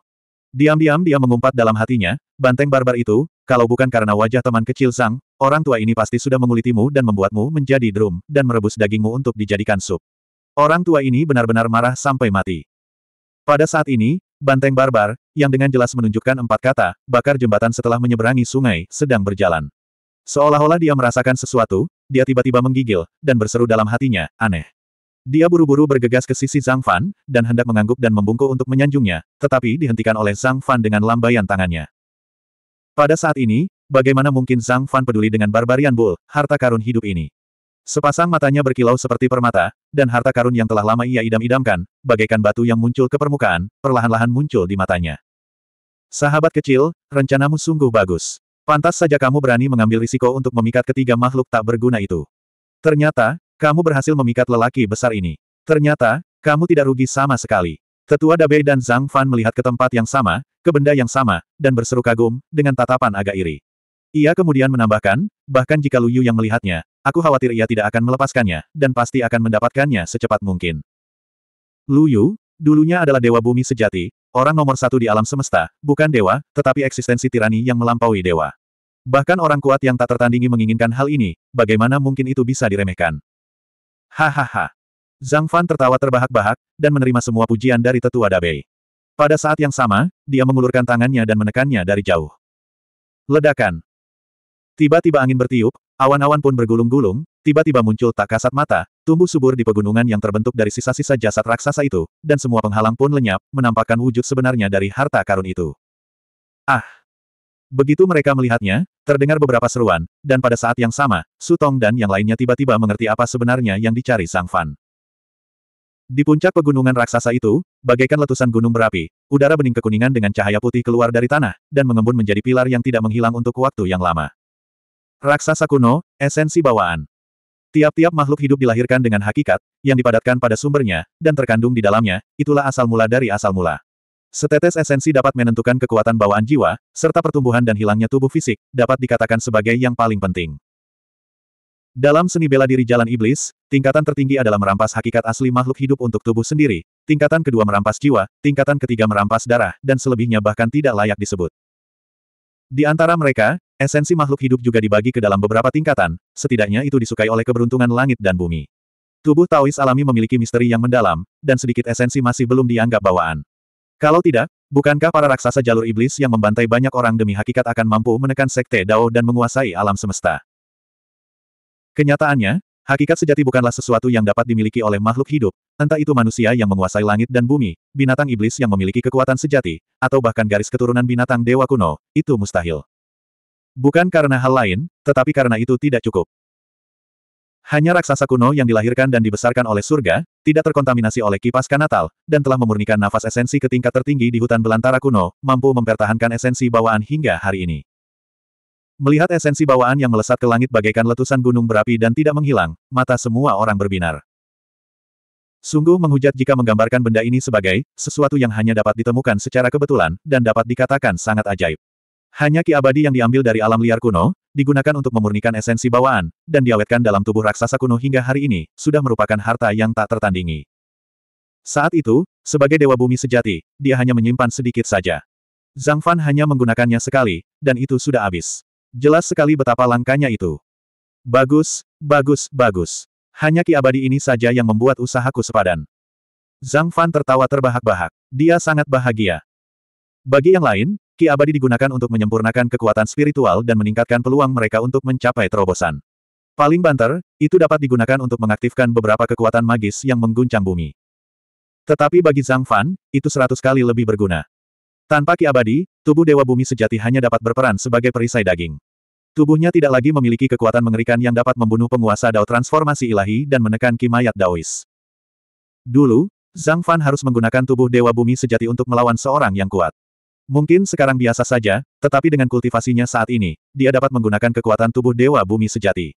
Bagaimana bisa dibandingkan dengan dulu? Dengan ki abadi di tangannya, Zhang Fan tidak diragukan lagi telah menambahkan kartu truf lainnya. Bagaimana mungkin dia tidak senang? Menyerap. Di tengah tawa, Zhang Fan membentuk pedang dengan jarinya dan mengarahkannya dari jauh. Ki esensi bawaan yang seperti mercusuar tiba-tiba bergetar. Seperti angin musim semi, aura putih bersih dengan sedikit kecemerlangan diekstraksi dari ki esensi bawaan raksasa kuno. Seperti aliran air yang mengalir deras, aura itu bergulir kembali ke arahnya. Setelah beberapa saat, melihat ki abadi di jari pedang Zhang Fan yang seperti ikan hidup, semua orang, termasuk Sutong dan Meniu, menelan ludah. Dahulu kala, tidak ada perbedaan antara dunia manusia dan dunia surgawi. Mungkin itu bukan masalah besar ketika ada banyak ki abadi. Raksasa petir kuno hanya menggunakannya untuk memurnikan ki esensi bawaannya. Setelah perubahan besar, bumi dan langit terpisah, dan tiga alam terbagi dengan jelas. Meskipun dapat dikatakan bahwa tidak ada ki abadi yang tersisa di dunia manusia, setelah bertahun-tahun dijarah oleh orang-orang kuat yang tak terhitung jumlahnya, itu telah lama tersapu bersih. Saat ini, ki abadi di jari Zhang Fan mungkin unik di dunia manusia atau bahkan di dunia roh. Mungkin melampaui semua yang diperoleh bumi abadi dengan susah payah di masa lalu. Jika ki esensi bawaan dan ki abadi muncul di tempat lain, mereka pasti akan bubar dan bubar begitu muncul. Mereka akan sangat sulit dikumpulkan. Namun, di alam timur besar, mereka tidak dapat melarikan diri atau bubar. Saat mereka muncul, mereka langsung ditahan oleh kekuatan dunia alam timur besar dengan satu pikiran dari Zhang Fan. Begitu mereka melihat ki esensi bawaan mengembun seperti suar, semua orang mengerti bahwa Zhang Fan telah memperlakukannya sebagai milik eksklusifnya. Dia bertekad untuk mendapatkannya. Selain menelan ludah, apalagi yang bisa mereka lakukan? Jika ada satu orang yang sedikit berbeda, itu adalah tetua Dabei. Dia meliriki abadi di tangan Zhang Fan, lalu melengkungkan bibirnya dan mengalihkan pandangan, seolah-olah dia tidak peduli. Tetua Dabei sangat kuat. Meskipun ia terlahir sebagai roh artefak, ia tetaplah roh artefak di dunia abadi. Sesuatu seperti ki abadi jarang ada di dunia manusia, tetapi berlimpah di dunia abadi, jadi ia sama sekali tidak mempedulikannya. Namun, ki esensi bawaan berbeda. Teman muda, mari kita bicara. Tatapan tetua Dabei beralih ke ki esensi bawaan, dan ekspresi acuh tak acuhnya segera menghilang. Yang menggantikannya adalah ekspresi menyedihkan seperti ketika dia berbicara tentang tangan peri. Dia hampir meneteskan air liur. Lupakan. Zhang Fan berkata tanpa berpikir. Bagaimana mungkin dia tidak tahu apa yang dipikirkan oleh tetua Dabei? Dia langsung menolak. Teman muda, jangan seperti ini. Mari kita bicara. Tetua Dabei tidak menyerah. Ia hendak mengatakan sesuatu, tetapi tiba-tiba terhenti di tengah kalimatnya, seolah-olah tenggorokannya dicekik. Kau kejam. Setelah sekian lama, akhirnya dia menghela napas dan bergumam muram. Ternyata Zhang Fan bahkan tidak menyisakan celah untuknya, apalagi pintu. Bagaimana mungkin dia bisa memuntahkan hal baik yang sudah ada di tangannya? Dia sama sekali tidak berniat melibatkan diri dengan si tua duka besar. Wus, wus, wus. Hembusan angin bertiup, dan ki esensi bawaan bagaikan awan dan naga, seolah mengalir ke mata laut. Seperti gunung, ia ditelan oleh Zhang Fan. 1225. Kau kejam, kau kejam, Pak Tua kesedihan besar memperhatikan dengan cemas saat Zhang Fan menelan saripati alami yang telah ditempa oleh raksasa petir purba selama bertahun-tahun sekaligus, dan dia langsung tampak seperti telah memakan seekor lalat. Ekspresi menyedihkan di wajahnya membeku dan ditutupi oleh ekspresi suram yang seperti awan gelap saat dia menundukkan kepalanya dengan sangat sedih dan bergumam, aku sangat menyedihkan, aku sangat sedih.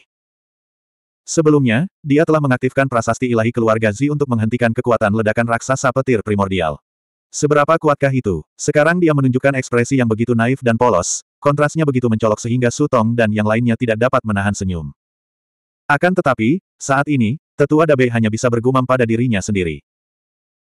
Jika puluhan tahun yang lalu, saat Zhang Fan pertama kali memperoleh status keluarga Zi dan fisik Dewa Bumi sejati, kedua belah pihak hanya akan saling menguntungkan, dan tidak ada yang lebih unggul dari yang lain. Jika beberapa saat yang lalu, saat alam Grand Orient belum terbentuk, tetua Dabei pasti sudah mampu memainkan peranan besar dan bahkan menciptakan rintangan yang tak terhitung jumlahnya untuk menghalangi keberhasilan Zhang Fan sampai batas tertentu. Namun, dia tidak melakukannya. Saat ini, tidak ada lagi yang bisa dia lakukan. Pohon Fusang, status keluarga Si, kolam awan yang diletakkan di atasnya, dan prasasti ilahi keluarga Si, yang merupakan harta karun utama status keluarga Si, telah sepenuhnya menyatu menjadi satu. Seluruh tubuh telah menjadi tahap transformasi keilahian Zhang Fan, yang dikendalikan oleh pikiran Zhang Fan, dan hidup serta matinya hanya dalam sekejap mata. Terlepas dari sifatnya sebagai roh artefak, atau fakta bahwa roh itu telah menaruh terlalu banyak harapan pada Zhang Fan, Zhang Fan cukup berterima kasih atas bantuannya. Setelah melihat ini, dia tersenyum dan melangkah di depan prasasti ilahi keluarga Si. Dia mengulurkan tangan dan menepuk bahu tetua Dabei yang setengah tubuhnya terbuka, lalu menghiburnya sambil tersenyum, jangan khawatir, tetua Dabei. Apakah kamu ingat apa yang aku janjikan kepadamu di masa lalu? Apa yang kau janjikan? Lelaki tua di Dabe itu mengangkat kepalanya dengan air mata di matanya dan menatap Zhang Fan dengan tatapan kosong. Kemudian dia bereaksi dan berkata, maksudmu? Ada kegembiraan yang tak terlukiskan dalam suaranya. Entah mengapa, hati Zhang Fan bergetar. Dia sudah meramalkan bahwa penatua Dabei akan mengatakan sesuatu yang tidak pantas lagi. Mereka tidak bermaksud menyembunyikan pembicaraan mereka dari orang lain. Su Tong dan yang lainnya segera menajamkan telinga dan mendengarkan dengan saksama. Peri moling banteng barbar mungkin masih bodoh, tapi orang macam apa Sutong itu? Dia sudah melihat akar dari lelaki tua Dabei dan kekuatannya yang mengerikan. Bagaimana mungkin dia tidak penasaran dengan syarat yang digunakan Zhang Fan untuk ditukar dengan pengikutnya? Tanpa diduga, kata-kata gemetar dan gelisah dari patua kesedihan besar hampir menyebabkan daulor transformasi dewa yang telah menerobos belenggu itu hampir jatuh ke tanah. Peri, peri, tangan kecil. Mata tua tetua Dabei tidak kabur. Pandangan matanya yang penuh air mata secara ajaib menghilang. Matanya bersinar seolah-olah penuh dengan bintang yang berkelap-kelip. Eh! Belum lagi Sutong dan yang lainnya yang hampir tidak percaya dengan apa yang mereka dengar, bahkan dengan pemahaman Zhang Fan tentang penatua Dabei dan kultivasinya yang luar biasa, dia hampir tersedak air liurnya sendiri sejenak. Kemudian dia melambaikan tangannya dengan tegas dan berkata, tidak. Ah, tetua Dabei menggelengkan kepalanya karena kecewa. Bahkan suaranya terdengar lemah. Lalu apa itu? Zhang Fan sedikit kesal. Dia membuat cerita panjang menjadi pendek dan melontarkan dua kata. Alam abadi. Alam abadi, seru Sutong dan langsung bertanya. Alam abadi. Tetua Dabe tercengang. Pandangan menyedihkan yang tidak sedap dipandang mata itu memudar. Ia tampaknya telah jatuh ke dalam kenangan, dan temperamennya berubah drastis. Ini seperti harta karun ajaib abadi dengan roh yang tidak bisa dihancurkan. Sutong mengangguk diam-diam. Kemudian dia kembali memusatkan perhatiannya pada Zhang Fan, menunggunya melanjutkan. Apa itu alam abadi? Itu adalah istana abadi pengadilan surgawi di zaman purba. Kemudian, tempat itu mengumpulkan ki abadi dari langit dan bumi. Selama perubahan besar di zaman purba, tempat itu tiba-tiba terpisah dari dunia manusia. Tempat itu tidak lagi terhubung langsung dengan dunia manusia. Tempat itu hanya dapat dicapai dengan naik. Itu adalah tempat impian para kultivator abadi yang tak terhitung jumlahnya. Meskipun Sutong lahir di akhir zaman purba, dia belum pernah melihat kenaikan pangkat dalam hidupnya. Bahkan apa yang dia dengar sebagian besar adalah rumor palsu. Alam abadi telah lama menjadi legenda. Bahkan sampai pada taraf di mana istilah, kenaikan, hampir menjadi istilah eksklusif untuk alam roh. Betapa menyedihkannya itu. Sekarang, dia benar-benar mendengar kata, alam abadi, dari Zhang Fan. Dia bukan orang yang akan berbicara tanpa berpikir. Mungkinkah dia benar-benar tahu jalan menuju alam abadi? Dalam pertemuan di gerbang surga, baik itu pohon fusang, tubuh leluhur surgawi raksasa petir abadi, atau formasi jiwa tiga leluhur surgawi, semuanya adalah harta paling berharga di dunia manusia. Mereka tidak dapat diperoleh tanpa keberuntungan dan keberuntungan besar. Tak satu pun dari hal-hal ini yang mengguncang ketenangan hati Sutong. Indra spiritual Zhang Fan telah lama dilatih menjadi sangat tajam. Jika Sutong memiliki pikiran yang mengganggu, dia mungkin tidak akan bisa lepas dari tatapan Zhang Fan. Karena kemurniannya, dan karena ia mendapat manfaat dari berbagai pengaturannya di tahun-tahun awalnya, Zhang Fan memandangnya secara berbeda. Namun, ketika mendengar dua kata, alam abadi, bahkan mata Sutong pun tak kuasa menahan diri untuk tidak bersinar dengan cahaya aneh. Tanpa sadar, ia melangkah beberapa langkah lebih dekat. Ya, itu adalah alam abadi. Zhang Fan tidak bermaksud menyembunyikannya. Dia mengangguk acuh tak acuh dan menatap lelaki tua Dabei dan berkata, Pak tua Dabei, apakah kamu ingat bahwa aku pernah berjanji kepadamu bahwa suatu hari, jika aku bisa, aku pasti akan membiarkanmu kembali ke alam abadi sebagai hadiah atas bantuanmu. Yah, begitulah yang kau katakan. Orang tua Dabei mengangkat alisnya dan berkata dengan serius, apakah kau punya cara sekarang? Apakah kamu punya cukup kekuatan? Jarang sekali melihat lelaki tua Dabei bersikap serius. Zhang Fan agak tidak terbiasa dengan hal itu. Tanpa sadar dia tertawa dan menjawab, aku punya sedikit petunjuk. Mengenai hal-hal spesifik, aku akan tahu beberapa petunjuk saat aku kembali ke sembilan wilayah di dunia manusia. Orang tua Dabei, karena aku sudah berjanji padamu, aku pasti akan melakukannya. Dengan kultivasiku saat ini, hanya ada beberapa orang di dunia yang dapat melawanku. Jika aku memiliki kesempatan untuk pergi ke alam abadi yang legendaris dan melihat cara-cara para dewa, kultivasiku yang tekun tidak akan sia-sia. Semakin banyak dia berkata, semakin bersemangat Zhang Fan. Auranya melonjak seolah-olah dia bisa menembus langit dan naik kapan saja dan bertemu dengan seorang dewa. Setelah bertahun-tahun yang tak terhitung jumlahnya, asap zaman kuno telah menghilang, dan zaman kuno telah menjadi legenda. Tahap Yuanying dari sembilan wilayah dipuja, dan pengaruh alam abadi menurun dari hari ke hari. Saat ini, para kultivator kurang lebih meragukan keberadaan alam abadi. Akan tetapi, ini tidak termasuk Zhang Fan. Di masa lampau, di dunia bawah tanah, di alam labu, meskipun dia tidak melihat satu pun dewa dengan mata kepalanya sendiri, namun itu sudah cukup membuktikan bahwa alam dewa itu memang ada, dan legenda itu tidak salah. Mungkin. Kuali perunggu, misteri Kaisar Iblis gagak emas, dan bahkan mengapa aku datang ke dunia ini, mungkin bisa mendapatkan jawabannya di sana. Apa yang dikatakan Zhang Fan tidaklah salah. Dia memang memiliki gagasan tertentu tentang keberadaan alam abadi dan cara menemukannya, tetapi pada akhirnya, dia tetap harus bergantung pada alam abadi. Entah sudah berapa tahun yang lalu, saat pertama kali mendengar tetuaku menyebutkan asal-usul alam abadi, dia merasa ragu-ragu, seolah-olah dia telah mengabaikan sesuatu. Seiring dengan perkembangan kultivasinya, kondisi pikirannya pun semakin sempurna, dan pikirannya pun semakin jernih. Semakin banyak ia berpikir, semakin banyak pula yang akan ia peroleh. Sebelumnya dia tidak berbuat apa-apa, tapi dia tidak mau menjadi semut yang berusaha menggoyang pohon, telur yang menghantam batu. Sekarang, segalanya sangat berbeda. Dalam hal kultivasi semata, Zhang Fan baru saja menstabilkan alam transformasi ilahi, yang mana tidak ada apa-apanya di antara para dewa roh di alam abadi, apalagi para raja daemon raksasa yang hanya bertahan hidup dari zaman kuno. Namun, sejak zaman kuno, di arena hidup dan mati, apakah ada kultivasi murni untuk menentukan kemenangan atau kekalahan? Jika memang begitu, apa gunanya bertarung? Semua orang memamerkan kultivasi mereka, dan yang lemah bunuh diri. Mengalahkan yang kuat sebagai yang lemah, membunuh orang-orang di atas level mereka. Sejak dia menginjakan kaki di dunia kultivator, dia telah melakukan hal semacam ini berkali-kali. Sekarang, dia mendapat dukungan dari alam transformasi ilahi yang belum pernah ada sebelumnya, alam Grand Orient, dan dia telah mencapai alam transformasi ilahi dan dapat sepenuhnya melepaskan kekuatan dari berbagai kemampuan hebat. Bahkan jika yang terkuat dari alam abadi ada di depannya, dia tidak takut untuk bertarung. Zhang Fan punya modal untuk melakukannya. Oke. Pulanglah, pulanglah. Dunia orang abadi adalah rumahku, Dabei. Tetua Dabei melompat keluar dari tablet keluarga si pusat, dan kata-kata meluncur keluar dari mulutnya seperti senapan mesin. Dia tidak terdengar seperti monster berusia 10.000 tahun, tetapi lebih seperti anak yang rindu kampung halaman. Roh artefak tetaplah roh artefak. Tidak peduli seberapa miripnya dengan manusia, dalam beberapa hal roh itu akan selalu berbeda dari manusia. Atau lebih tepatnya, lebih seperti manusia daripada manusia. Manusia, di sini mengacu pada manusia murni. Jika itu adalah seorang ahli manusia yang telah berkultivasi selama 10.000 tahun, dia pasti tidak akan memiliki pikiran kekanak-kanakan seperti itu. Bagi manusia biasa, kembali ke asal mereka bukanlah hal yang luar biasa. Zhang Fan dan Sutong kebingungan, seolah-olah mereka tidak tahu apa itu manusia. Oi, Oi, oi. Sahabat kecilku, kau bisa mencerna napas saripati itu saat kau punya waktu.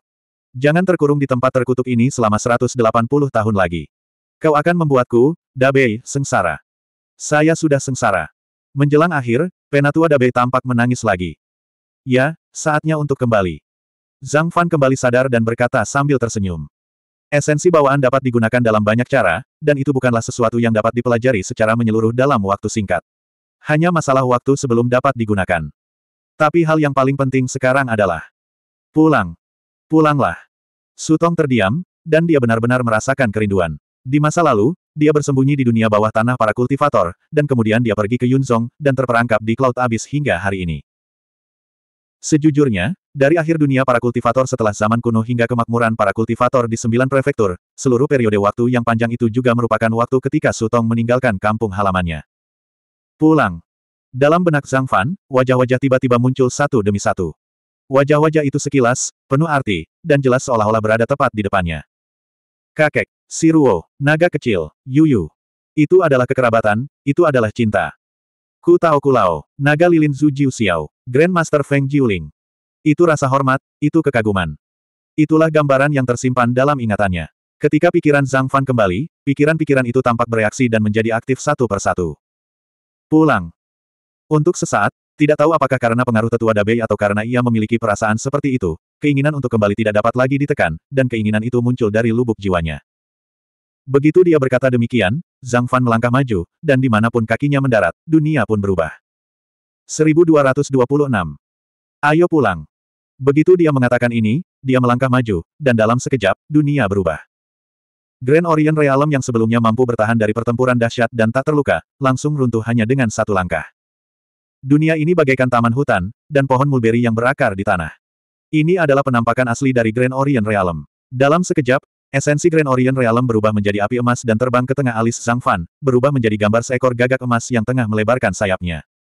Pada saat ini, semua yang dilihatnya dan semua yang dirasakannya berbeda dari sebelumnya. Bumi berubah menjadi ketiadaan, dan langit berubah menjadi asap dan awan. Semua orang merasa seolah-olah mereka jatuh dari langit tertinggi, melewati lapisan awan. Perubahan di hadapan mereka tak terlukiskan. Alam timur besar, alam rahasia gerbang langit, alam awan. Seperti matahari di langit, kiamat dunia, perubahan awan, segalanya bagaikan gambar tetap yang berkelebat dalam pikiran setiap orang. Kekuatan besar menyelimuti semua orang, dan semua rintangan berubah menjadi ketiadaan. Tidak diketahui apakah langit dan bumi telah menyerah dan mundur di bawah kekuatan dahsyat ini, atau apakah semua orang telah tersebar menjadi partikel yang tidak terlihat oleh mata telanjang dan melewati segalanya. Tidak ada yang punya pikiran ekstra untuk memikirkannya.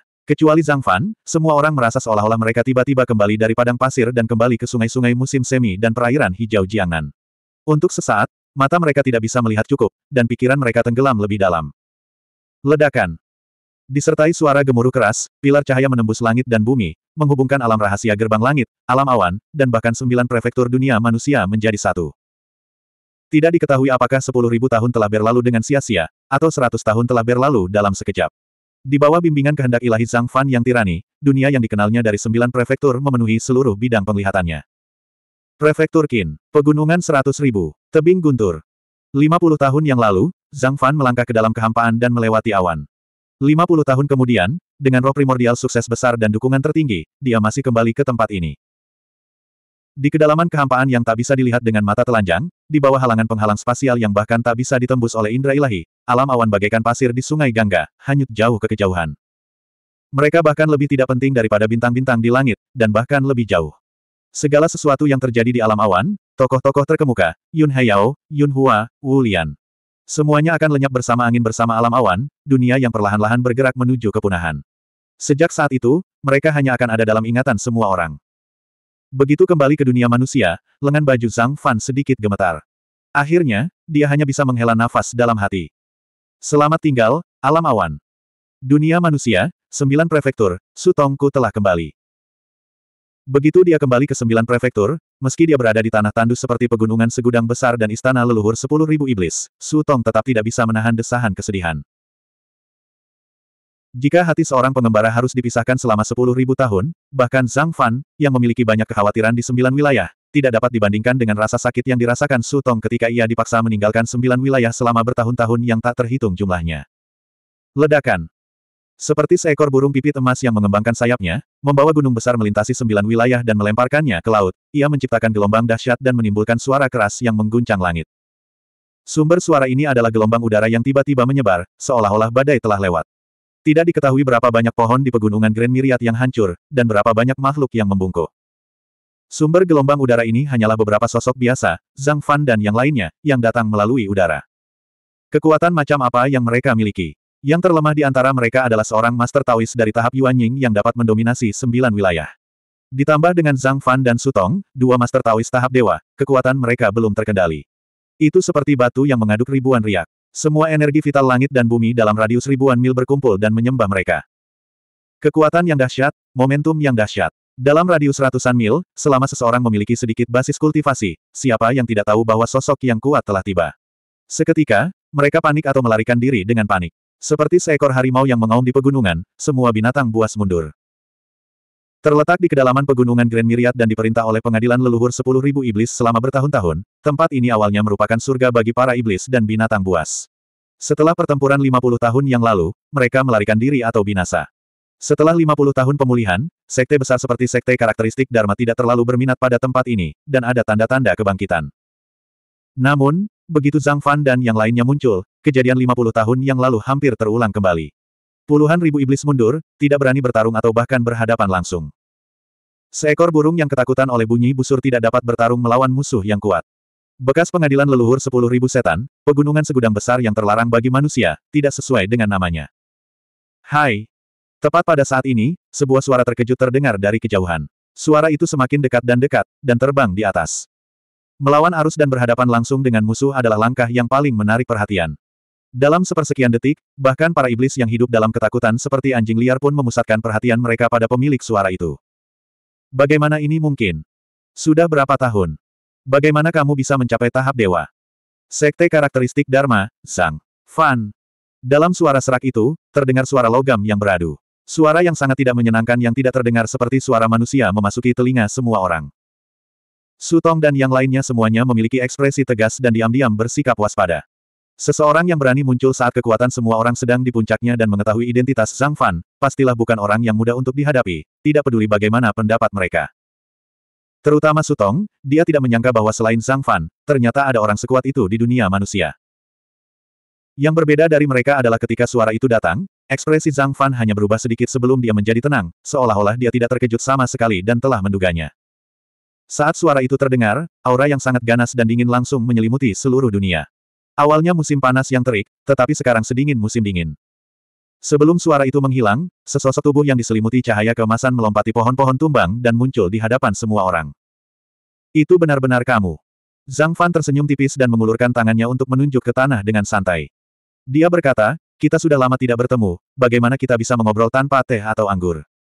Silakan duduk. Kekuatan dharmanya telah mencapai alam yang tak terbayangkan setelah transformasi roh primordialnya. Hanya dengan gerakan jarinya, tidak ada aura sama sekali, tetapi penampakan tanah di bawah kaki semua orang berubah drastis. Dia menunjuk tanah dan mengubahnya menjadi baja. Tanah hitam yang awalnya tertutup lapisan humus mengeras menjadi baja hanya dengan satu ujung jarinya. Itu seperti batu hijau yang diinjak tanpa jejak. Setelah transformasi, beberapa pohon yang patah berubah menjadi sebuah meja. Ada aroma cendana di atasnya, dan warna catnya sederhana dan tanpa hiasan. Ada sedikit warna pasta, seolah-olah terbuat dari peralatan berkualitas tinggi milik keluarga kaya. Di sebelah meja, tiba-tiba muncul sebuah bantal berwarna-warni. Bantal itu terbentuk dari udara tipis oleh ki langit dan bumi yang terkumpul. Lebih jauh lagi, masing-masing bantal itu sesuai dengan jalur energi transendensi orang-orang. Misalnya, bantal di depan orang yang datang berwarna hitam pekat dengan sedikit cahaya kemasan. Itu adalah manifestasi dari yin ekstrim yang melahirkan yang. Setiap gerakan itu merupakan kemampuan ilahi atau teknik sihir yang kuat, tetapi Zhang Fan mampu mengeluarkannya hanya dengan satu jentikan jarinya. Itu sangat mudah baginya. Tanpa disadari, Zhang Fan telah mencapai puncak yang bahkan tidak berani ia impikan saat ia memulai jalan keabadian saat ia masih muda. Dia melangkah maju perlahan dan melambaikan lengan bajunya di kehampaan. Aroma berbagai buah spiritual, anggur spiritual yang lembut, dan teh yang pekat membuat sekelilingnya tampak seperti negeri dongeng. Duduk di futon merah kemasannya, Zhang Fan tersenyum tipis dan mengulurkan tangannya. Ia berkata, Senior Siki, 50 tahun telah berlalu dalam sekejap mata. Sikapmu bahkan lebih baik dari sebelumnya. Aku sangat senang. Tolong, Sambil berkata demikian, dia mengambil teh harum di atas meja dan meminumnya dalam sekali teguk. Dia tampak sangat riang, seolah-olah orang yang berdiri di depannya bukanlah raksasa kuno, orang yang garang, tetapi seorang teman baik. Zhang Fan, sungguh kesempatan yang luar biasa yang kamu miliki. Kamu memiliki kemampuan yang luar biasa. Dalam waktu 50 tahun yang singkat, kamu telah membentuk roh primordial dan memadatkan ketergantunganmu. Bahkan aku tidak dapat melihat kultivasimu. Belum lagi aku, bahkan semua kultivator kuat yang pernah kulihat dalam hidupku tidak dapat dibandingkan denganmu. Pada titik ini, orang tua ini yakin. Namun, Taois Siki tersenyum. Wajahnya yang seperti monyet tampak lebih garang di balik senyumnya. Aku tidak suka penampilanmu yang palsu. Taois Siki. Sutong berteriak kaget. Dia akhirnya mengenali identitas ahli yang memancarkan aura yang tidak bisa dibedakan ini. Daois Korski itu pernah menjadi penguasa suatu wilayah di wilayah Qin pada era kuno. Seberapa ganas dan perkasa dia. Bahkan para kultivator era saat ini akan dapat merasakan kejayaannya dari catatan kuno, apalagi seorang kultivator seperti Sutong yang hidup tidak jauh dari bencana besar era kuno. Awalnya, dia tidak berani mempercayainya. Kemudian, dia memfokuskan pandangannya dan wajahnya berangsur-angsur dipenuhi dengan keterkejutan. Dia bertubuh pendek dan berwajah seperti monyet. Bulunya berwarna emas dan dia memakai mahkota monyet. Kecuali 18 mayat emas yang mengerikan, dia tampak persis seperti Taois legendaris Siki. Belum lagi keterkejutan Sutong saat tiba-tiba melihat raksasa kuno seperti itu, Taois Siki hanya meliriknya dan sedikit mengernyit. Kemudian, dia mengerutkan bibirnya dan tidak menganggapnya serius. Dia duduk di futon dengan sikap mencolok. Pendeta Tao Siki memang orang yang menepati kata-kata dan perbuatannya. Meskipun ia mengejek Zhang Fan, tangannya tidak berhenti bergerak. Ia langsung mengambil beberapa buah persik besar dari meja dan mengunyahnya. Setelah beberapa saat, hanya beberapa biji persik yang tersisa di tanah. Penampilan yang tidak terkendali dan tidak terkendali seperti itu, jika dilakukan oleh para ahli yang serius dan hikmat, akan menjadi kehilangan muka dan martabat. Namun, ketika dilakukan oleh Taoist Siki, itu tidak bisa lebih alami. Seolah-olah jika dia tidak melakukan ini, dia tidak akan dapat menunjukkan sifat aslinya. Setelah menggigit buah persik itu, dia menyekanya dengan lengan bajunya dan mendengus dengan nada meremehkan. Zhang kecil, 50 tahun yang lalu, aku baru saja keluar dari masalah. Aku dalam kesulitan yang mengerikan. Kau masih mengatakan kepadaku bahwa keadaanku lebih baik daripada sebelumnya. Jika masih sama saja, untuk apa aku datang ke sini? Lebih baik aku belajar dari tikus-tikus pengecut itu dan pergi sejauh mungkin. Aku tidak ingin berurusan denganmu. Saat berbicara, Taois Siki memutar bola matanya yang berbentuk segitiga. Aura yang ganas muncul, tetapi tidak mengarah ke Zhang Fan dan yang lainnya. Sebaliknya, aura itu tiba-tiba menyebar, seperti sapu besar yang menyapu. Dor, dor, dor. Ah! Ke mana pun aura ganas itu lewat, sosok manusia menjerit dan terlempar. Mereka yang sedikit lebih baik memuntahkan darah dan vitalitas mereka terluka, sementara mereka yang sedikit tidak beruntung langsung memutar mata dan menendang. Makhluk-makhluk roh ini sudah melarikan diri, tetapi karena mereka tertarik oleh aura yang dilepaskan oleh Taoist Siki dengan cara yang provokatif, mereka mengintai kembali untuk menonton. Mereka mungkin ingin duduk di gunung dan menyaksikan pertarungan harimau. Ketika dua harimau bertarung, salah satu pasti akan terluka. Kemudian, mereka akan menjadi nelayan yang menuai keuntungan. Bagaimana tindakan mereka bisa disembunyikan dari mata Zhang Fan dan yang lainnya? Mereka tidak menanganinya karena mereka tidak menganggapnya serius. Sekarang setelah Taoist Siki melakukannya untuk mereka, mereka tentu saja tidak keberatan. Makhluk-makhluk roh yang telah mengamati situasi dari jauh segera tidak berani untuk melihat lagi. Mereka dengan cepat melarikan diri jauh, tidak berani untuk melihat ke belakang. Hahaha. Sekelompok tikus, apakah kalian pikir kalian layak melihat metodeku? Taoist Siki tertawa terbahak-bahak. Saat dia melepaskan auranya, seolah-olah ada gunung mayat dan lautan darah. Ini adalah hasil dari kehidupan makhluk yang tak terhitung jumlahnya. Itu bukan sihir, tetapi lebih kuat dari sihir. Anak Zhang Fan, tawa itu tiba-tiba berhenti. Taois Siki mendorong meja, berdiri dan berkata, apakah kamu masih ingat pertempuran 50 tahun yang lalu? 1227. Pertempuran 50 tahun lalu. Zhang Fan tidak bergerak. Dia duduk di atas bantal dan tersenyum, aku tidak akan melupakannya bahkan sehari pun. 50 tahun yang lalu, ia meraih kesempatan untuk menjadi seorang kultivator transformasi ilahi, tetapi ia dikejar oleh para kultivator transformasi ilahi dari dunia abadi roh. Yang menghadapinya adalah raksasa kuno seperti Kimayat. Situasinya sangat berbahaya. Dalam situasi itu, Zhang Fan menggunakan kartu truf yang telah lama disembunyikannya. Dia menggunakan ki abadi untuk mengaktifkan tubuh abadi bumi sejatinya. Dia tidak hanya membunuh para kultivator transformasi ilahi, tetapi dia juga menghalangi Kimayat. Dia mengatur pertempuran 50 tahun dan memiliki kesempatan untuk bernapas. Kini, 50 tahun telah berlalu dengan cepat. Meskipun Korski telah memulihkan kekuatannya, dan bahkan telah memperoleh banyak manfaat dari penindasan guntur selama bertahun-tahun yang tak terhitung jumlahnya, membuatnya bahkan lebih kuat daripada saat ia berada di puncaknya, Zhang Fan tidak lagi sama seperti sebelumnya. Ia telah terlahir kembali. Jika tidak demikian, mengapa Daois Korski membuang-buang waktu berbicara dengannya, dan dia juga tidak mau duduk dan minum bersamanya? Seperti yang dia katakan, orang rendahan seperti itu bahkan tidak memiliki kualifikasi untuk mengamati metodenya, apalagi hal lainnya. Kesombongan pendeta mayat Ki terlihat jelas, tanpa ditutup-tutupi. Itu tidak membuat orang merasa jijik, sebaliknya, itu wajar saja. Belum lagi penampilannya, dia memang memiliki sikap seperti raksasa kuno. Begitu Zhang Fan selesai berbicara, dia perlahan mengangkat teh di atas meja. Dia tampak benar-benar tenggelam dalam aroma teh, dan dia tidak peduli dengan hal lain. Mata Korski terbuka lebar. Baju zirah emasnya bersinar terang. Sepertinya seluruh tubuhnya bergetar, dan dia bisa meledak dengan serangan yang mengguncang bumi kapan saja. Kedua belah pihak terdiam. Sutong menarik menu dengan satu tangan dan Perimoling dengan tangan lainnya, lalu perlahan mundur, meninggalkan tempat yang suasananya mulai menegangkan itu. Sutong juga merupakan seorang kultivator transformasi ilahi, tetapi dia tahu bahwa meskipun dia telah menembus penghalang mentalnya dan tidak dianggap lemah di antara para kultivator transformasi ilahi, dibandingkan dengan Daois Korski yang merupakan seorang raksasa kuno, dia masih jauh dari cukup. Bahkan dia tidak bisa campur tangan, apalagi menu dan Perimoling. Baik Zhang Fan maupun Korski tidak menunjukkan reaksi apa pun terhadap mundurnya mereka, seolah-olah mereka bahkan tidak menyadarinya. Faktanya, memang begitu. Pada saat ini, kedua ahli yang tak tertandingi dari era yang berbeda ini hanya saling menatap. Keduanya tampak terbungkus dalam aliran udara yang membawa ribuan kilogram pasir saat mereka maju dan mundur, melakukan konfrontasi yang tak terlihat. Kedua belah pihak terdiam sejenak. Setelah waktu yang tidak diketahui, mungkin hanya sekejap, mungkin sudah beberapa hari. Sama seperti Sutong dan yang lainnya, meskipun mereka jauh, masih merasa seperti tercekik, tawa yang memekakkan telinga tiba-tiba memecah keheningan.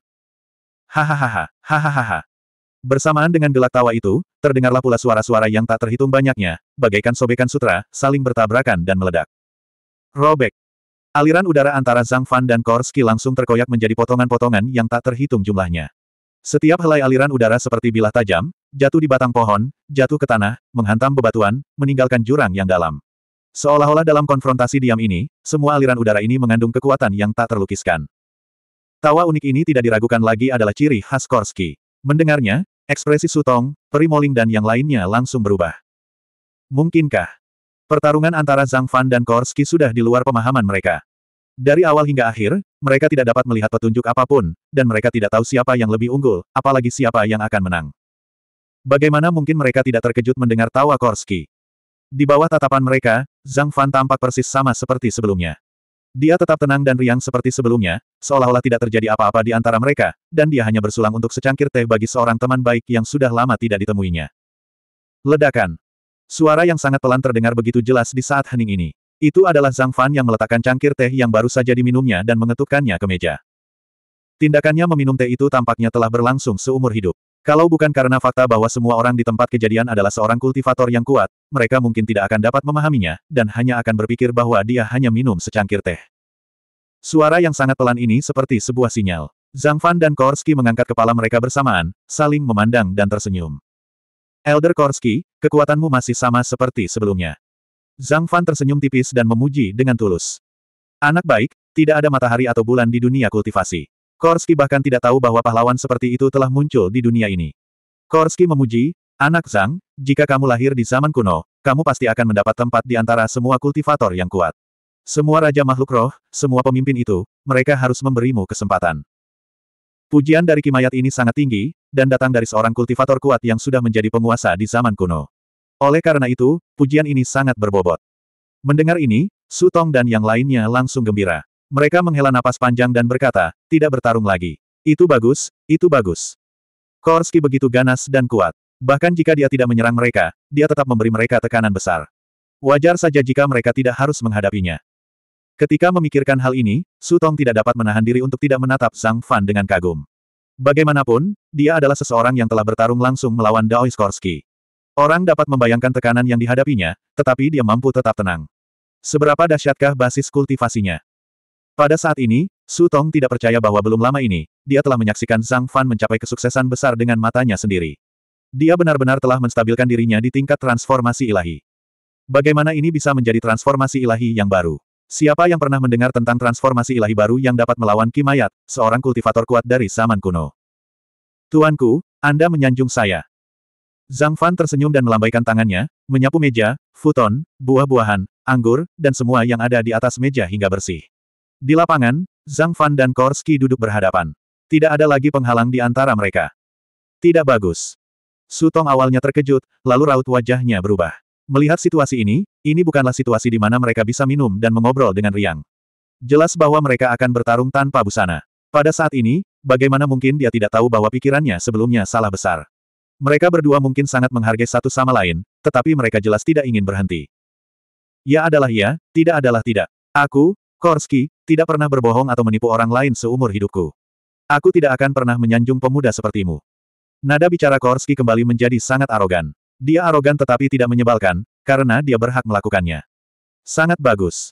Zhang Fan tidak marah. Dia hanya tampak sedikit serius dan berkata dengan suara yang dalam, pada hari yang baik ini, aku baru saja membentuk roh primordialku. Untuk dapat berdiskusi dengan seorang kultivator yang kuat sepertimu, tuanku, bukankah itu suatu berkah? Silakan. Ledakan. Kata, tolong, bagaikan badai yang lebih dari seratus kali lebih kuat dari sebelumnya di lautan yang baru saja tenang. Dalam jarak seribu mil, semuanya tertutup oleh tekanan yang tak terlihat.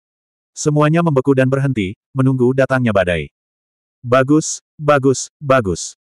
Korski tertawa panjang. Dia tidak peduli dengan kekacauan di tanah dan hanya duduk. Dia meletakkan tangannya di lutut dan berkata dengan bangga, kau ingin duduk dan berdiskusi tentang Dao. Hari ini saya akan berdiskusi dengan Anda.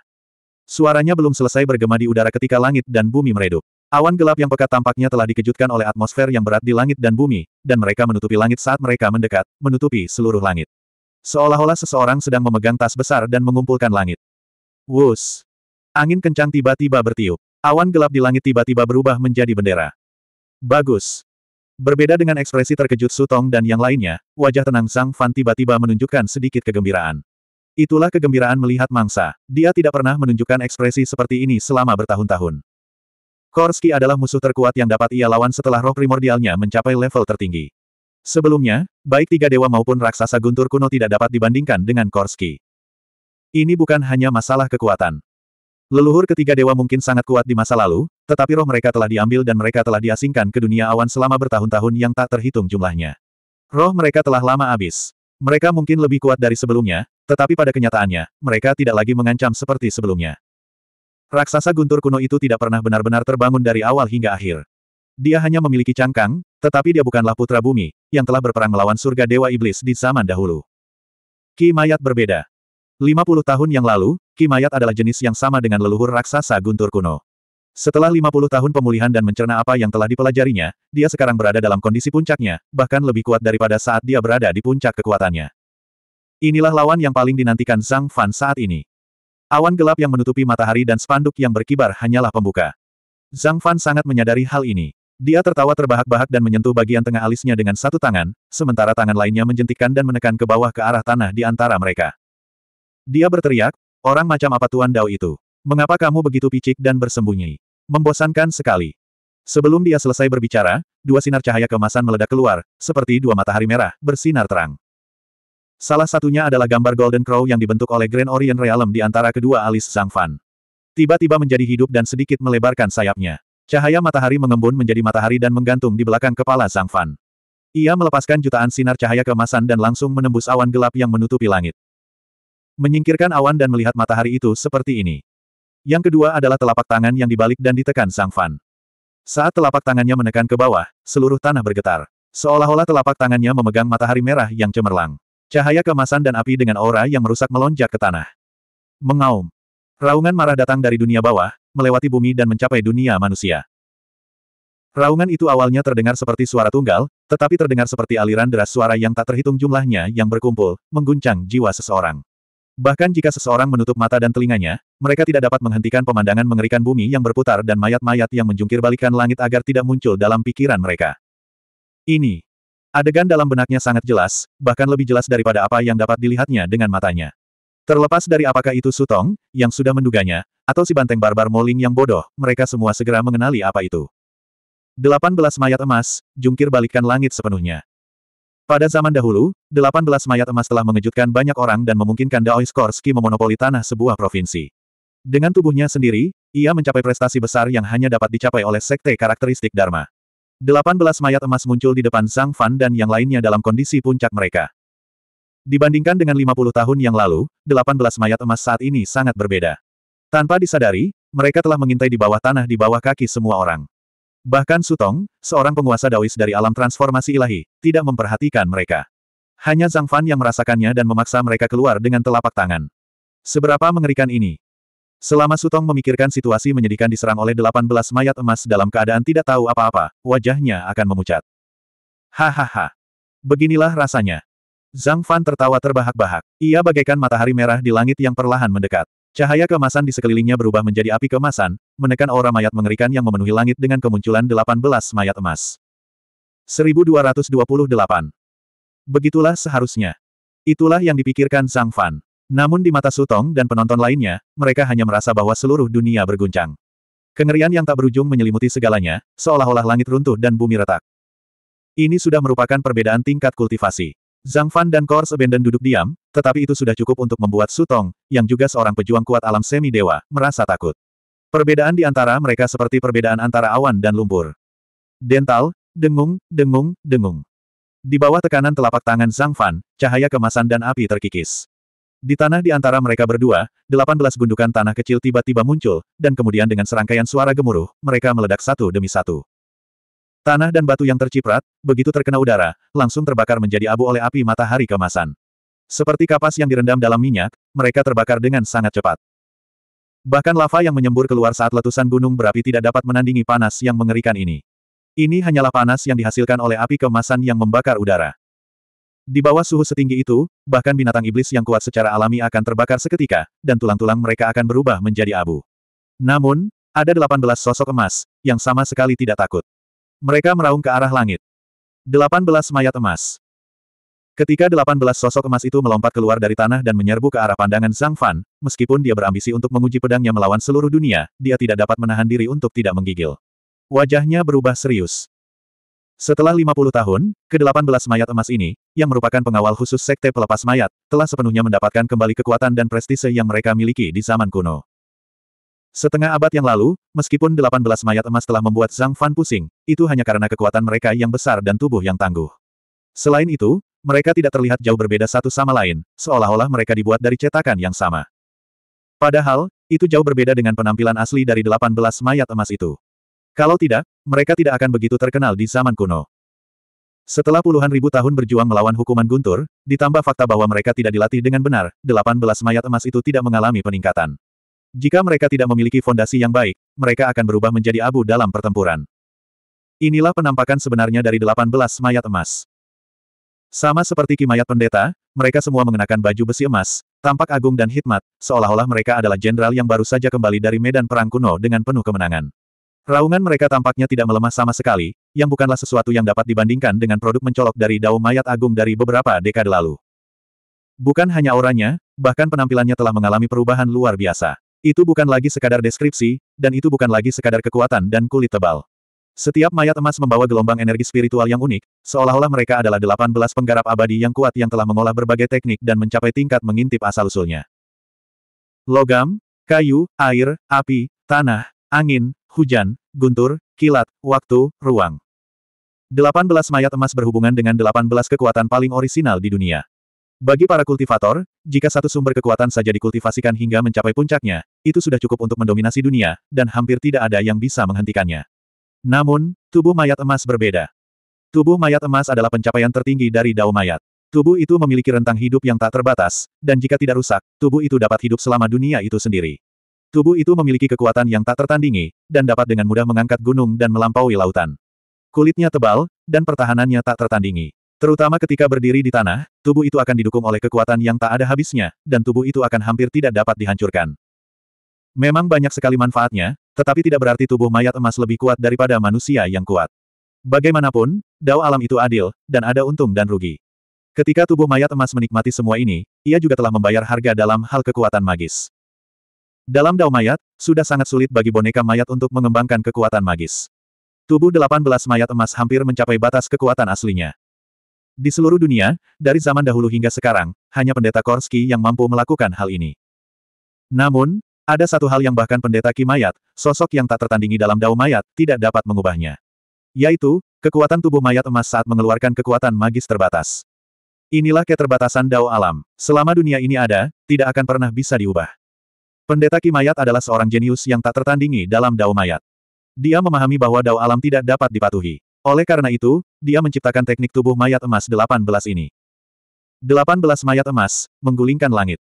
Zhang Fan mengucapkan kata demi kata dengan ekspresi serius di wajahnya. Dulu, ketika dia bertarung melawan Kimayat Pendeta, 18 mayat emas bahkan tidak memiliki satu persen pun kekuatan yang mereka miliki saat ini. Tapi orang macam apa Zhang Fan itu? Karena dia tahu tentang ini, bagaimana mungkin dia tidak siap? Dalam buku-buku aliran karakteristik Dharma yang pernah dibacanya, terdapat penjelasan rinci tentang kekuatan 18 mayat emas saat Kimayat Pendeta berada di puncaknya. Oleh karena itu, Zhang Fan telah bersiap untuk ini. Apa yang disebut 18 mayat emas, menjungkir balikan langit, adalah deskripsi persis dari teknik ini. Prieskorski telah mengolah 18 mayat emas tingkat puncak, dan pada saat yang sama, masing-masing dari mereka telah menguasai sihir asli. Secara individual, mayat emas ini mungkin cukup kuat di dunia saat ini, tetapi pada zaman kuno, mayat emas ini masih jauh dari cukup. Apa yang diandalkan oleh pendeta Korski adalah teknik yang persis sama dengan yang dia tunjukkan kepada Zhang Fan saat ini. Mayat emas, pengguling langit, bangkit. Hahaha, nak, Zhang Fan, sebaiknya kau berhati-hati. Bahkan di zaman kuno, tidak banyak kultivator kuat yang sepadan denganku menggunakan sesuatu seperti ini. Jangan kalah terlalu cepat dan merusak suasana hatiku. Tawa pendeta mayat Ki dipenuhi dengan kegembiraan yang tak terlukiskan. Itu sama sekali berbeda dari nada yang dia gunakan dengan Zhang Fan sebelumnya. Dia tidak bisa disalahkan untuk ini. Saat itu, Zhang Fan telah menggunakan kekuatan keberuntungannya dan segel emas penangkal kejahatan untuk menekannya ketika dia akhirnya terbebas dari kurungannya selama puluhan ribu tahun. Zhang Fan baru saja melihat cahaya bulan ketika awan telah terbelah, namun dia telah terbanting ke dalam lumpur lagi. Seberapa besar kebencian yang dia rasakan? Meskipun pada akhirnya, karena Zhang Fan diburu oleh dunia roh, pendeta Korski telah melepaskannya dari penjaranya terlebih dahulu untuk meminjam kekuatannya dan tidak benar-benar menekannya selama 500 tahun, namun dendam itu sudah terlanjur disebar. Meskipun saat ini mereka tidak bisa benar-benar digambarkan sebagai petarung sampai mati, dan mereka masih ingin sedikit menguji satu sama lain, pendeta Korski tetap tidak dapat menahan diri untuk melampiaskan kekesalannya. Saat pendeta mayat Ki tertawa, ke-18 mayat emas itu meraung dengan marah. Delapan belas garis cahaya kemasan meletus dari mulut mereka, membentuk sangkar warna-warni di langit. Adegan ini kebetulan seperti sebuah mangkuk megah yang dirobohkan, dan Zhang Fan yang duduk di sana tanpa bergerak berada di pusatnya. Ledakan. Warna sangkar itu menjungkir balikan dunia dan menggeser posisi alam semesta. Seolah-olah ke-18 mayat emas telah menggunakan kekuatan mereka untuk melepaskan diri dari dunia manusia, melarikan diri ke ruang aneh yang dikuasai oleh ke-18 mayat emas. Ini adalah Golden Course Sky Overturning. Di dalam sangkar ini, kekuatan ke-18 Golden Course meningkat tanpa batas, sementara kekuatan lawan ditekan ke level serendah mungkin. Dia benar-benar terpisah dari dunia luar. Dia seperti burung dalam sangkar, binatang buas dalam sangkar, tidak lagi sekuat sebelumnya. Begitu ya, begitulah adanya. Pada saat ini, Zhang Fan yang telah lama duduk diam, akhirnya bergerak. Saat dia berbicara dengan suara yang hampir seperti melantunkan mantra, dia berdiri. Meskipun tekanan di dalam kandang langit terbalik tidak terbatas dan angin menderu tidak mampu mengacak-acak pakaiannya, bahkan tidak ada satu sudut pun dari pakaiannya yang acak-acakan. Dia berbicara seolah-olah dia berbicara dengan normal, dan itu bahkan menenggelamkan semua raungan dan gemuruh. Saat berada di dalamnya, Zhang Fan akhirnya mengerti betapa mengerikannya mayat-mayat emas yang berubah menjadi langit itu, dan sihir macam apa yang telah dikeluarkan oleh Ki Mayat Pendeta. Jika berdiri sendiri, 18 Golden Course tidak akan menjadi ancaman besar bagi Zhang Fan saat ini. Bahkan jika mereka menyerbunya, hanya butuh sedikit usaha lagi. Yang benar-benar mengerikan adalah ketika dia menggunakan Golden Course Overturning the Heavens dan memperlihatkan Heavenly Flipping Cage. Ini adalah gabungan dari 18 jenis teknik sumber dan kemampuan ilahi untuk membentuk dunia unik yang ada sejajar dengan ruang asli. Itu hanya terjadi di antara kenyataan dan ilusi, di dalam dan di luar, dan itu sangat mendalam. Sebenarnya, 18 mayat emas itu bukanlah roh primordial Ki Mayat Pendeta. Melainkan, Kandang pembalik surgawi yang dibentuk oleh formasi besar mayat emas. Sama seperti Zhang Fan yang mengandalkan alam kaisar timur yang tak tertandingi, begitu dia melangkah ke tahap transformasi ilahi, dia mampu memandang rendah para kultivator transformasi ilahi lama, yang telah terkenal selama puluhan ribu tahun. Saat itu, pendeta Korski juga menggunakan sihir unik ini untuk mendominasi dunia. Anak Zhang, tampaknya kau akhirnya mengerti sihirku. Dulu, aku membunuh banyak sekali makhluk kuat dengan formasi besar mayat emas. Setiap orang dari mereka memahami rahasianya saat mereka terjebak di dalamnya. Tapi, lalu kenapa? Jika kau tidak bisa menghancurkannya, kau tidak bisa menghancurkannya. Jika kau kalah, kau kalah. Paling-paling, kau tidak ingin menjadi hantu yang tidak waras. Sekarang giliranmu, bocah Zhang Fan. Suara pendeta Korskis akan turun dari langit. Di dalam kandang pembalik surgawi, suaranya terdengar samar-samar dan sakral. Kultivasi dao mayat milik pendeta Ki Maya telah mencapai titik ekstrim, puncak dari puncak. Ia bukan lagi iblis yang dapat dikendalikan oleh sihir hebat apa pun. Jika seseorang ingin mengalahkannya, ia hanya dapat menghancurkannya dengan kekuatan absolut. Aku ingin melihat sihir macam apa yang kau miliki, sang jenius tak tertandingi yang dapat disebut sebagai nomor satu sejak zaman dahulu, untuk menghancurkan formasi ini. Pendeta Korski tidak lagi menyebut dirinya sebagai aku, tetapi sebagai aku. Kata-katanya tampaknya telah kembali ke masa ketika Sekte Kors Forsaken mencapai puncaknya dan mendominasi Provinsi Qin. Oh, begitukah? Zhang Fan tersenyum dan bertanya dengan santai. Kemudian, dia melambaikan tangannya, dan sehelai bulu emas dan sehelai daun merah cerah jatuh ke telapak tangannya. Dia berkata, kalau begitu, tolong. Bersihkan, mata, kamu, dan, tunggu, sampai, itu. Sebelum suaranya menghilang, bulu gagak emas dan daun fusang bergabung menjadi satu dan tiba-tiba berayun keluar. Ledakan. Tiba-tiba, lingkaran cahaya merah menyala menyebar dengan Zhang Fan sebagai pusatnya. Deng, deng, deng. Bersamaan dengan beberapa ledakan dan raungan, 18 bayangan emas terpantul keluar dari void oleh lingkaran api dan jatuh ke tanah karena malu. Pada saat yang sama, ruang di mana 18 mayat emas berada, yang awalnya meraung ke langit, berputar sedikit, lalu menghilang tanpa jejak seperti mimpi. Ternyata 18 mayat emas yang tampaknya masih ada di tempatnya itu hanyalah ilusi. Tubuh mereka yang sebenarnya telah diam-diam menerkam ke arah Zhang Fan. Kekuatan 18 mayat emas telah membentuk dunia unik kandang pembalik langit ini, yang hampir mustahil dideteksi jika ada yang bersembunyi di dalamnya. Selain itu, pendeta mayat Ki tidak lupa mengalihkan perhatian Sang Fan dengan kata-kata. Tidak dapat dikatakan bahwa itu bukan rencana yang bagus. Di zaman kuno, banyak ahli telah dikalahkan dengan muram pada titik ini. Sayangnya, orang yang berlawanan dengan pendeta mayat Ki adalah Zhang Fan. Roh primordial Zhang Fan awalnya berada di dunia unik seperti alam timur besar, jadi dia sangat peka terhadap dunia unik. Selain itu, dibandingkan dengan alam timur besar, kandang pembalik langit milik pendeta Korski hanyalah dunia unik yang setengah jadi. Perbedaannya sangat besar, jadi bagaimana mungkin itu bisa disembunyikan darinya. Huff. Korski, yang melihat ke bawah dari atas, tidak dapat menahan diri untuk tidak mendengus dingin saat melihat ini. Tidak peduli siapa orangnya, dia baru saja mengucapkan beberapa kata kasar dengan bangga, tetapi sekarang, dia telah menderita kerugian. Oleh karena itu, dia tidak akan dalam suasana hati yang baik. Anak Zhang Fan, ini baru permulaan, kata pendeta Korski dengan dingin. Dia tampaknya tidak bergerak, tetapi 18 mayat emas itu naik ke langit satu persatu. Tubuh mereka dikelilingi oleh ketajaman ki emas barat, atau penghalang tanah tebal di tengahnya, atau kehancuran guntur, atau kehancuran badai hujan, atau misteri waktu dan ruang.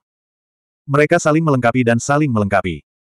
Delapan belas mayat emas yang perlahan mendekat itu tampaknya tidak terluka sama sekali, kecuali bekas luka bakar kecil di permukaannya. Seolah-olah serangan yang dilakukan Zhang Fan dengan kekuatan pohon fusang itu hanya goresan bagi mereka.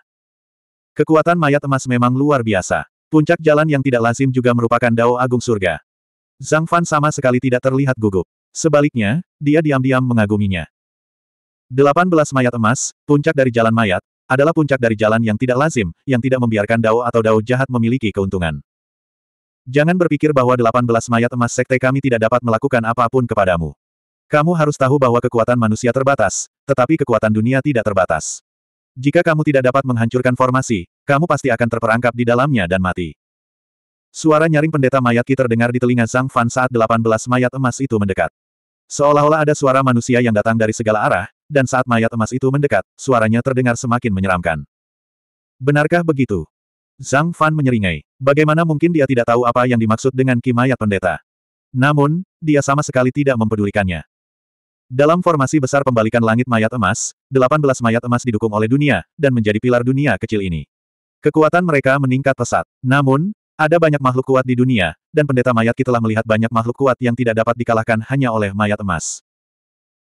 Masalahnya, di dunia kecil ini, 18 mayat emas itu tidak dapat diisi ulang, sementara kekuatan 18 mayat emas itu tidak terbatas, dan kulit mereka tebal dan keras, membuat mereka tidak dapat dihancurkan.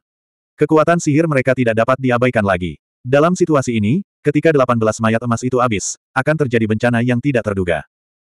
Di zaman dahulu, banyak makhluk kuat telah terbunuh oleh metode Ki Mayat Pendeta ini. Tidak heran dia begitu percaya diri. Masalahnya, keberuntungan pendeta Korski mungkin telah habis sampai ekstrim. Begitu dia melepaskan segelnya, dia bertemu Zhang Fan dan ditekan olehnya. Sekarang, dia baru saja pulih ke kekuatan puncaknya, dan telah banyak berkembang. Tapi sekarang, dia bertemu musuh bebuyutannya, yaitu formasi besar Golden Course Sky Flipping. Memang musuh bebuyutan. Pendeta Kimayat, formasi besar pembalik langit mayat emas milikmu memang misterius. Apakah menurutmu tanpa metode yang ampuh untuk menghancurkannya, kita tidak dapat melakukan apa pun, dan hanya bisa kelelahan dan terperangkap dalam formasi?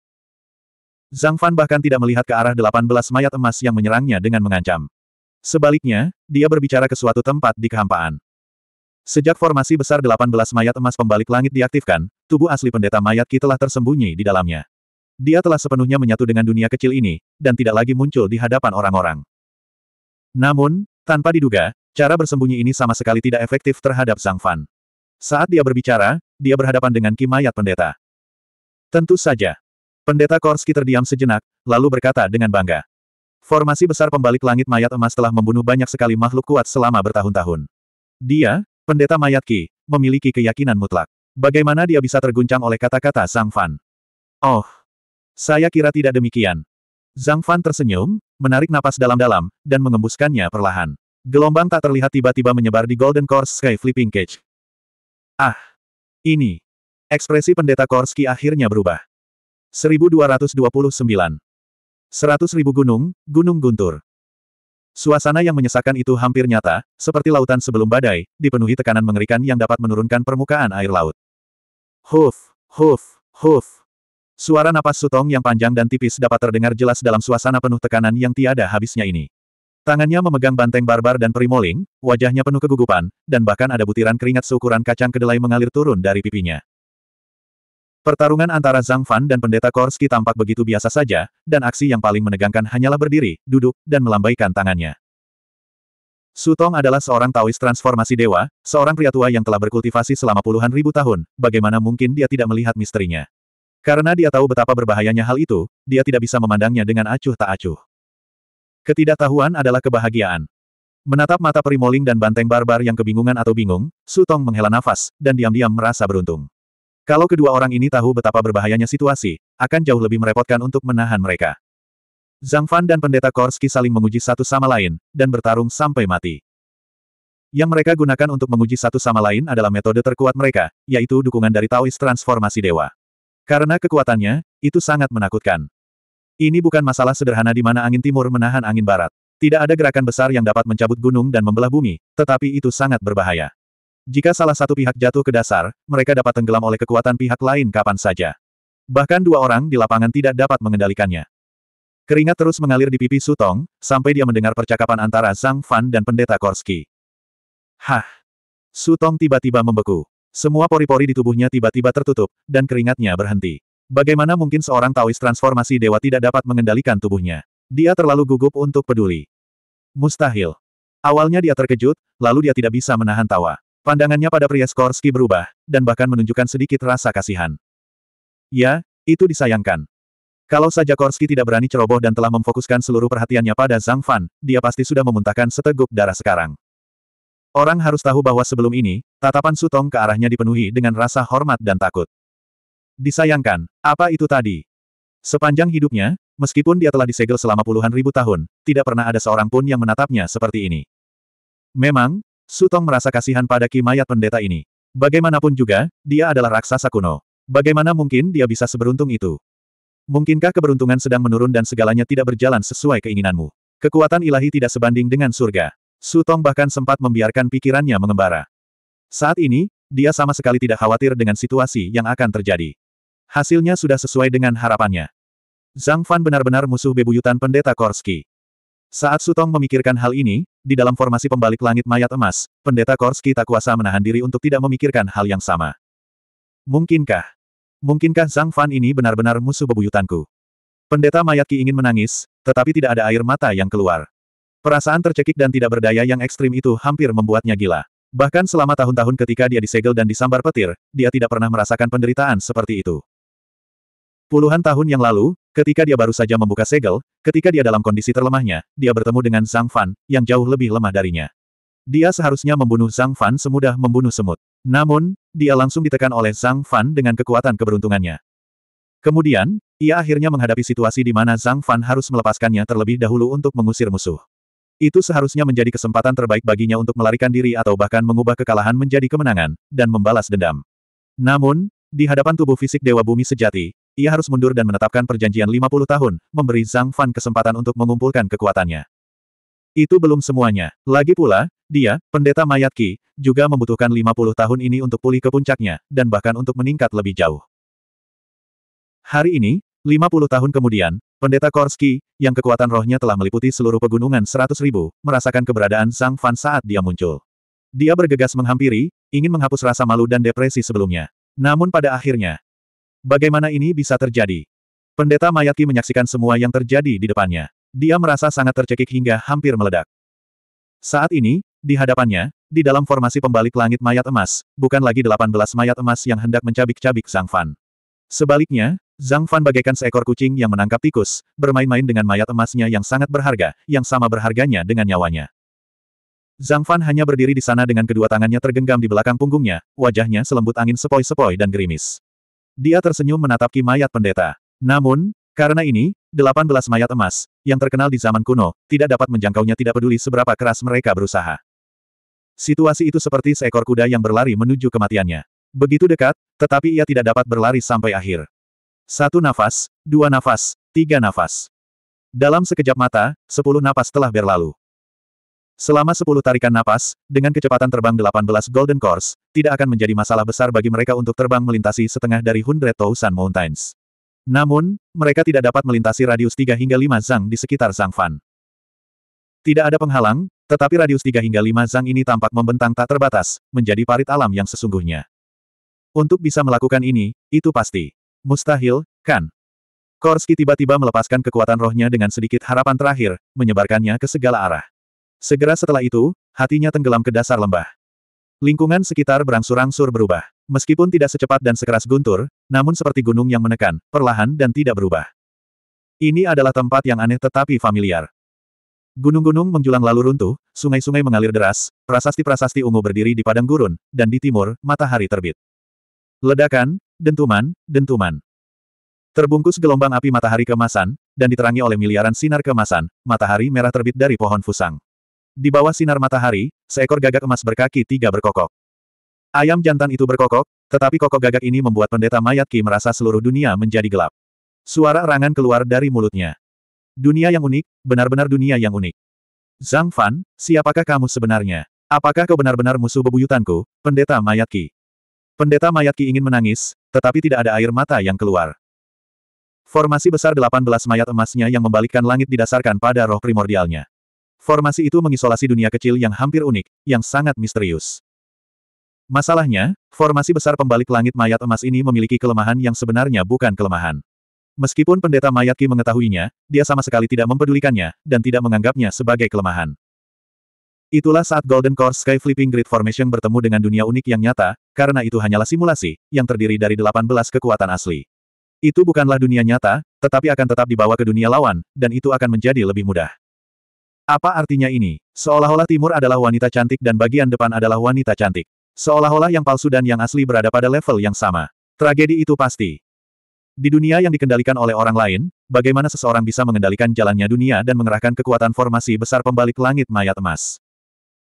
Dengan kata lain, saat berhadapan dengan makhluk kuat yang memiliki dunia unik, formasi besar pembalik langit mayat emas milik pendeta Ki akan menjadi setengah tidak berguna.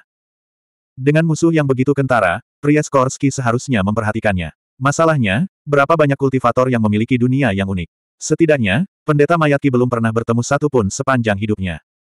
Namun, ada satu, Tepat di depannya. Anda. Pendeta mayat Ki ingin mengatakan sesuatu, tetapi dia tidak melakukannya. Bukannya dia tidak ingin mengatakannya, tetapi dia tidak punya apa-apa untuk dikatakan. Lupakan. Kamu menang. Bagaimanapun, Dao Skorsky adalah orang yang ganas di generasinya. Dia adalah sosok yang tak tertandingi yang telah mendorong metode yang tidak lazim hingga ke puncak. Dia sangat lugas. Begitu Zhang Fan menggunakan cermin Dong Huang, dia langsung mengakui kekalahan. Namun, pendeta mayat Ki tidak hanya menunggu kematian. Saat dia mengaku kalah, dia berteriak, padatkan. Pada saat yang sama, dia membentuk cincin dengan tangannya dan tiba-tiba memeluknya kembali. Dalam sekejap, ke-18 mayat emas itu semuanya berubah menjadi cahaya keemasan dan menyerbu ke tubuh pendeta Korski. Hah! Zhang Fan melayang di udara di atas pohon fusang. Melihat pemandangan ini, dia tidak bisa menahan ekspresi terkejut. Dalam sekejap mata, ke-18 mayat emas itu berubah menjadi ilusi. Saat mereka menyerbu tubuh pria Skorsky, mereka berubah menjadi bayangan samar dan kemudian menghilang. Selama seluruh proses ini, aura kimayat pendeta terus meningkat, seolah-olah kekuatan 18 mayat emas telah berkumpul di satu tempat. Dalam sekejap, kekuatan kimayat pendeta berubah dari sangat kuat menjadi sangat lemah, seolah-olah ada atau tidak. Yang menggantikannya adalah kekuatan pemotongan yang sudah dikenalnya. Rasa isolasi ruang muncul dari tubuhnya, yang sangat mirip dengan dunia kecil yang disimulasikan oleh formasi besar pembalik langit mayat emas. Langkah yang bagus. Seperti yang diharapkan dari seorang penguasa kuno, seorang raksasa yang mendirikan sebuah sekte. Aku mengagumimu. Zhang Fan tidak bisa menahan diri untuk tidak memuji. Dia benar-benar mengagumi pria Skorsky. Apa yang dilakukan pria Skorsky adalah menggunakan benih kekuatan dari 18 mayat emas untuk mewujudkan misteri formasi mayat emas di tubuhnya. Dia memisahkan dirinya dari dunia mana pun dan meminimalkan pengaruh lingkungan eksternal apa pun pada tubuhnya. Dengan kata lain, bahkan di alam timur besar, pendeta Korsky memiliki cukup kekuatan untuk melindungi dirinya sendiri. Dia bukanlah seseorang yang bisa dihadapi Zhang Fan dengan mudah. Apa yang dilakukannya hanya untuk mengungkapkan satu hal, Zhang Fan, kau memang kutukanku. Aku akui bahwa aku sangat tidak beruntung dan peruntunganku sedang menurun, tetapi kau ingin membunuhku. Itu tidak mungkin. Sekalipun gigiku besi dan gigiku tembaga, aku akan tetap tergencet olehmu. Tentu saja, aku tidak bisa meremehkan orang-orang di dunia. Tidak ada satupun dari orang-orang tua ini yang sederhana.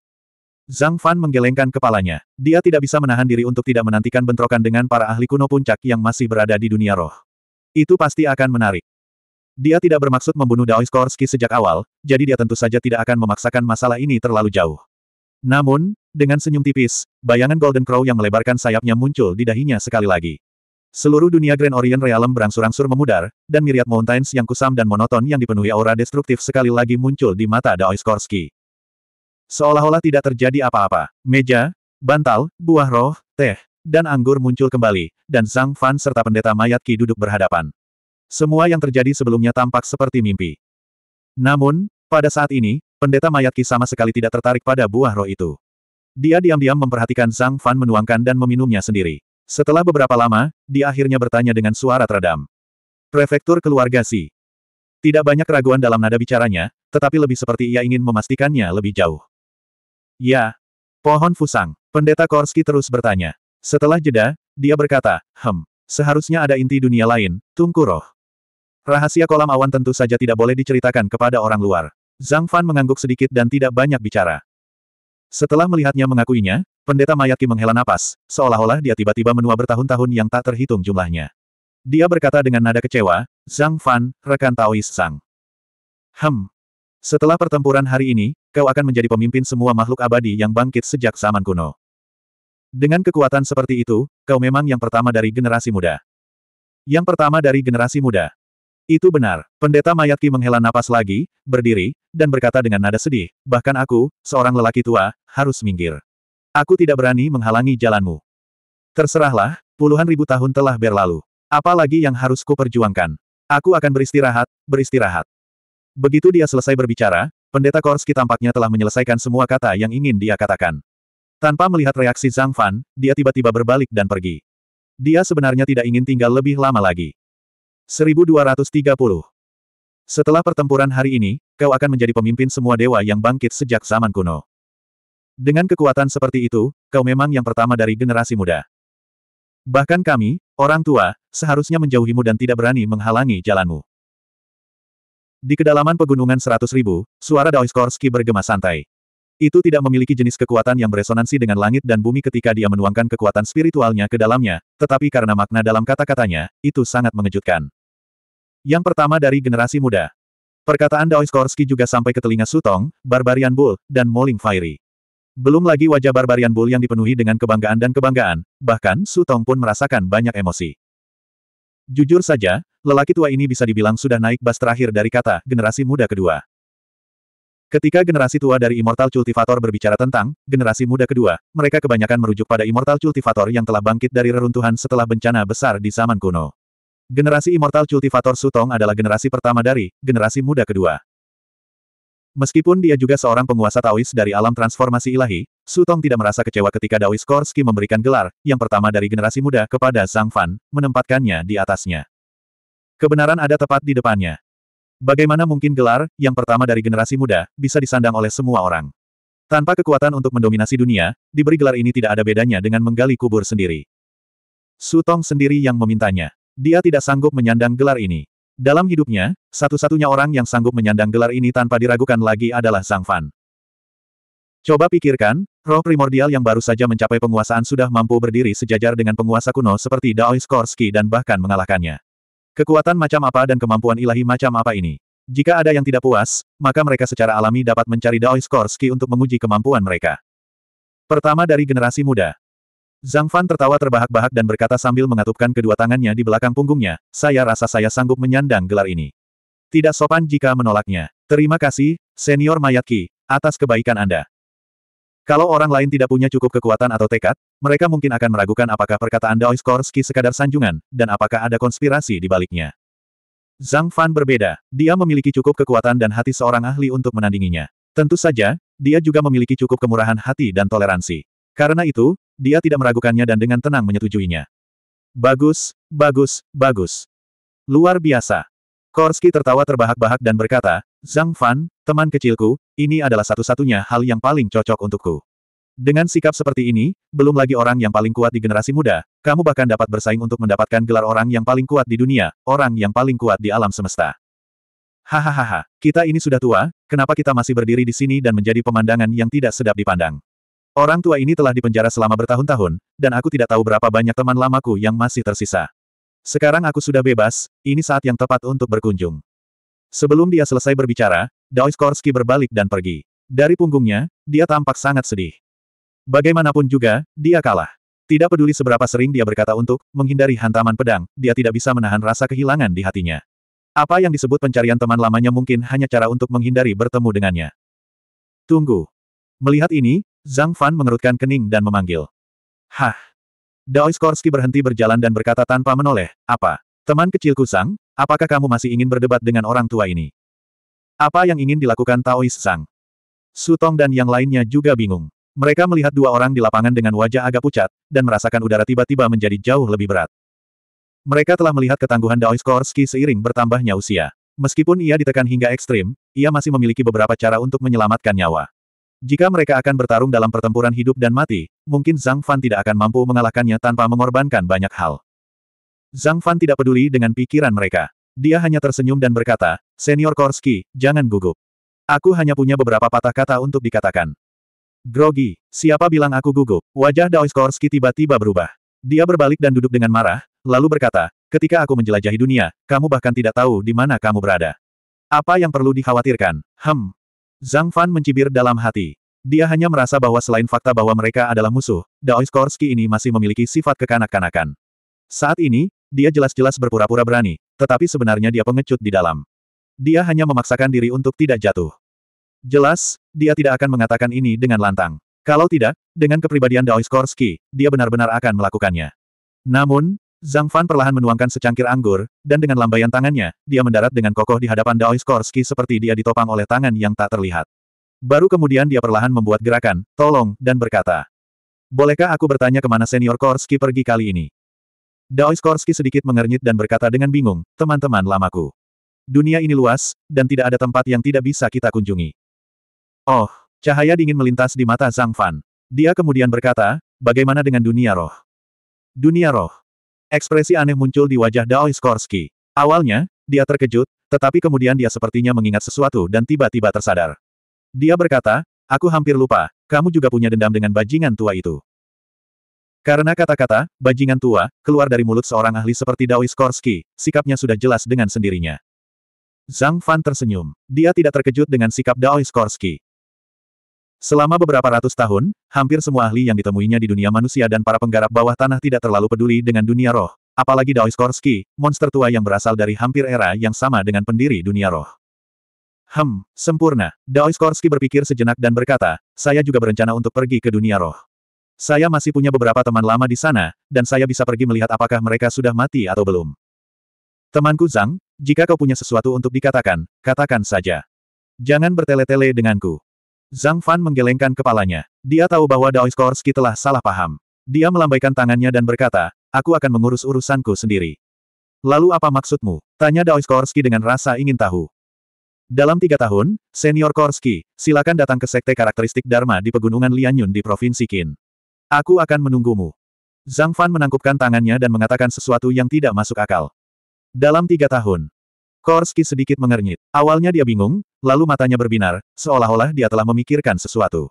Dia tertawa terbahak-bahak dan berkata, hebat. Zhang, teman kecilku, kamu telah melakukan hal yang hebat. Tidak masalah, aku pasti akan pergi ke sana dan menyemangatimu, teman kecilku, untuk membantumu. Aku masih punya beberapa saudara tua. Kurasa mereka tidak akan dibunuh oleh bajingan-bajingan tua itu dengan mudah. Sekarang saat yang tepat untuk menemukan mereka bersama-sama. Aku juga bisa membantumu, orang pertama yang bangkit kemudian, untuk membuat namamu terkenal. Dalam tiga tahun. Dalam tiga tahun, hahaha. Saya pergi. Di tengah tawa itu, baju besi emas Daois Korski berdenting. Ia menghilang dari waktu ke waktu dan menghilang di kejauhan. Ia tidak tinggal lebih lama lagi. Namun dalam sekejap mata, sosoknya benar-benar menghilang dari pandangan Sang Fan. Bahkan auranya yang kuat pun tersebar tertiup angin dan tidak dapat ditangkap. Dia memang seorang karakter. Melihatnya pergi, Zhang Fan tidak mengatakan apa pun untuk menghentikannya. Dia terdiam beberapa saat dan memuji. Selamat, temanku. Pada saat ini, Su Tong juga kembali ke sisi Zhang Fan bersama banteng barbar dan perimoling. Dia juga melihat Dao Skorsky pergi dan kemudian berkata dengan keras. Zhang Fan tersenyum tipis dan bertanya, apa kabar baiknya? Kabar baiknya adalah kamu mengalahkan Dao Skorsky hari ini. Mulai sekarang, kamu telah naik ke puncak bumi surgawi, Dewa Roh Sembilan Wilayah. Kecuali alam abadi yang halus dan tidak dikenal, kamu dapat bersaing dengan siapa pun tanpa tertinggal. Sebagai seorang kultivator, mencapai puncak hanya dalam beberapa ratus tahun, bukankah itu hal yang baik? Begitu suara Sutong berakhir, Banteng Barbar dan Primoling mengangguk berulang kali, seolah memang begitulah adanya. Kabar baiknya adalah kau akan terkenal di seluruh dunia. Baik itu para dewa roh atau orang-orang kuat di dunia manusia, siapa yang tidak mengenalmu. Ketika Sutong mengatakan ini, dia juga merasa iri. Dengan bantuan Dao Skorsky untuk membuat namanya terkenal, reputasi Zhang Fan benar-benar melambung hingga ke sembilan surga. Setiap kultivator yang memiliki sedikit kekuatan akan mengenalnya. Itu hanya kekuatan. Apa yang bisa disyukuri? Zhang Fan menggelengkan kepalanya. Dia tidak terlalu peduli dengan hal ini. Dia sangat memahami bahwa bantuan Dao Skorsky untuk membuatnya terkenal itu terkait dengan alam roh abadi dan apa yang akan terjadi tiga tahun kemudian. Alasan kedua adalah karena kekuatannya. Hari ini, mereka berdua saling menguji dan tidak bertarung sampai mati, jadi tidak dapat dianggap berselisih dan menjadi musuh. Zhang Fan sebelumnya tidak berniat membunuh, dia juga tidak memaksakan Dao Skorsky dalam situasi putus asa. Dapat dikatakan bahwa kedua orang yang menyinggungnya di masa lalu telah diimbangi. Meskipun sebelumnya dia telah menyinggung Dao Skorsky, dia tidak benar-benar menekannya selama 500 tahun. Kebenciannya tidak dalam, dan masih ada ruang untuk rekonsiliasi. Tindakan Dao Skorsky bukan tanpa maksud untuk berdamai. Hal itu jelas menunjukkan bahwa dia tidak menyimpan dendam apa pun, dan dia dengan tulus ingin melupakan masalah ini. Dengan kekuatan dan status mereka, mengapa mereka melakukan sesuatu yang sia-sia? Dao Skorsky tampak lugas dan kasar, tetapi sebenarnya dia sangat cerdik. Dia bisa dikatakan memiliki pemahaman diam-diam dengan Sang Fan. Hanya mereka berdua yang tahu rahasia di balik ini. Pada akhirnya, apa yang menyebabkan hasil ini dan yang memutuskan sikap Dao Skorsky masih merupakan kekuatan Sang Fan sendiri. Kalau tidak, kalau dia bisa membunuhnya dengan satu tangan saja, mengapa Dao Skorsky mau menghabiskan begitu banyak upaya? Itu seperti bagaimana orang menjalin hubungan dengan domba yang menunggu untuk disembelih. Tidak ada gunanya menjelaskan hal ini terlalu jelas. Zhang Fan tersenyum dan tidak membicarakannya. Ia berkata kepada Sutong yang tampak sedang berpikir, Senior Sutong, apakah Anda punya tempat untuk dituju dalam tiga tahun ke depan? Tiga tahun ke depan, tempat untuk dikunjungi. Hati Sutong tergerak, dan dia secara kasar memahami apa yang dimaksud Zhang Fan. Dia menggelengkan kepalanya dan berkata, saya telah meninggalkan dunia manusia selama puluhan ribu tahun. Dunia telah berubah, dan orang-orang telah berubah. Ke mana saya bisa pergi? Saya hanya mencari tanah yang diberkahi dengan gunung-gunung yang indah dan air yang jernih, yang dipenuhi dengan ki spiritual, untuk berkultivasi dan mencari jalan menuju keabadian. Ketika Sutong mengatakan ini, dia tidak dapat menahan perasaan kecewa. Dia berbeda dari Dao Skorsky. Dia tidak memiliki tingkat kultivasi yang tinggi, dan dia tidak memiliki teman-teman yang kuat yang dapat hidup selama dunia. Selain Wan Er, yang merupakan keturunan Zhang Fan yang tak terhitung jumlahnya di alam Grand Orient, dia benar-benar tidak memiliki kekhawatiran. Kalau begitu, jika Anda tidak keberatan, bagaimana kalau senior Sutong datang ke sekte karakteristik Dharma saya dan tinggal selama beberapa tahun? Zhang Fan langsung mengirimkan undangan. Oh, Sutong bertanya dengan rasa ingin tahu, Taois Zhang juga ingin aku berpartisipasi dalam acara besar tiga tahun lagi. Itulah alasan pertama. Zhang Fan mengangguk terlebih dahulu, lalu menambahkan, alasan kedua adalah aku punya murid yang mengagumi seni alkimia, dan bisa meminta bimbingan senior. Saya penasaran apakah murid saya akan mendapat kehormatan itu. Saat Zhang Fan tersenyum, Su Tong tertawa dan berkata, itu keinginanku, tapi aku tidak berani memintanya. Bagus. Zhang Fan juga tertawa, dan tawanya menyebar jauh. Dia juga menghadap ke utara, dan melihat ke kejauhan. Tidak diketahui berapa puluh ribu mil jauhnya. Provinsi Qin, Sekte Karakteristik Dharma.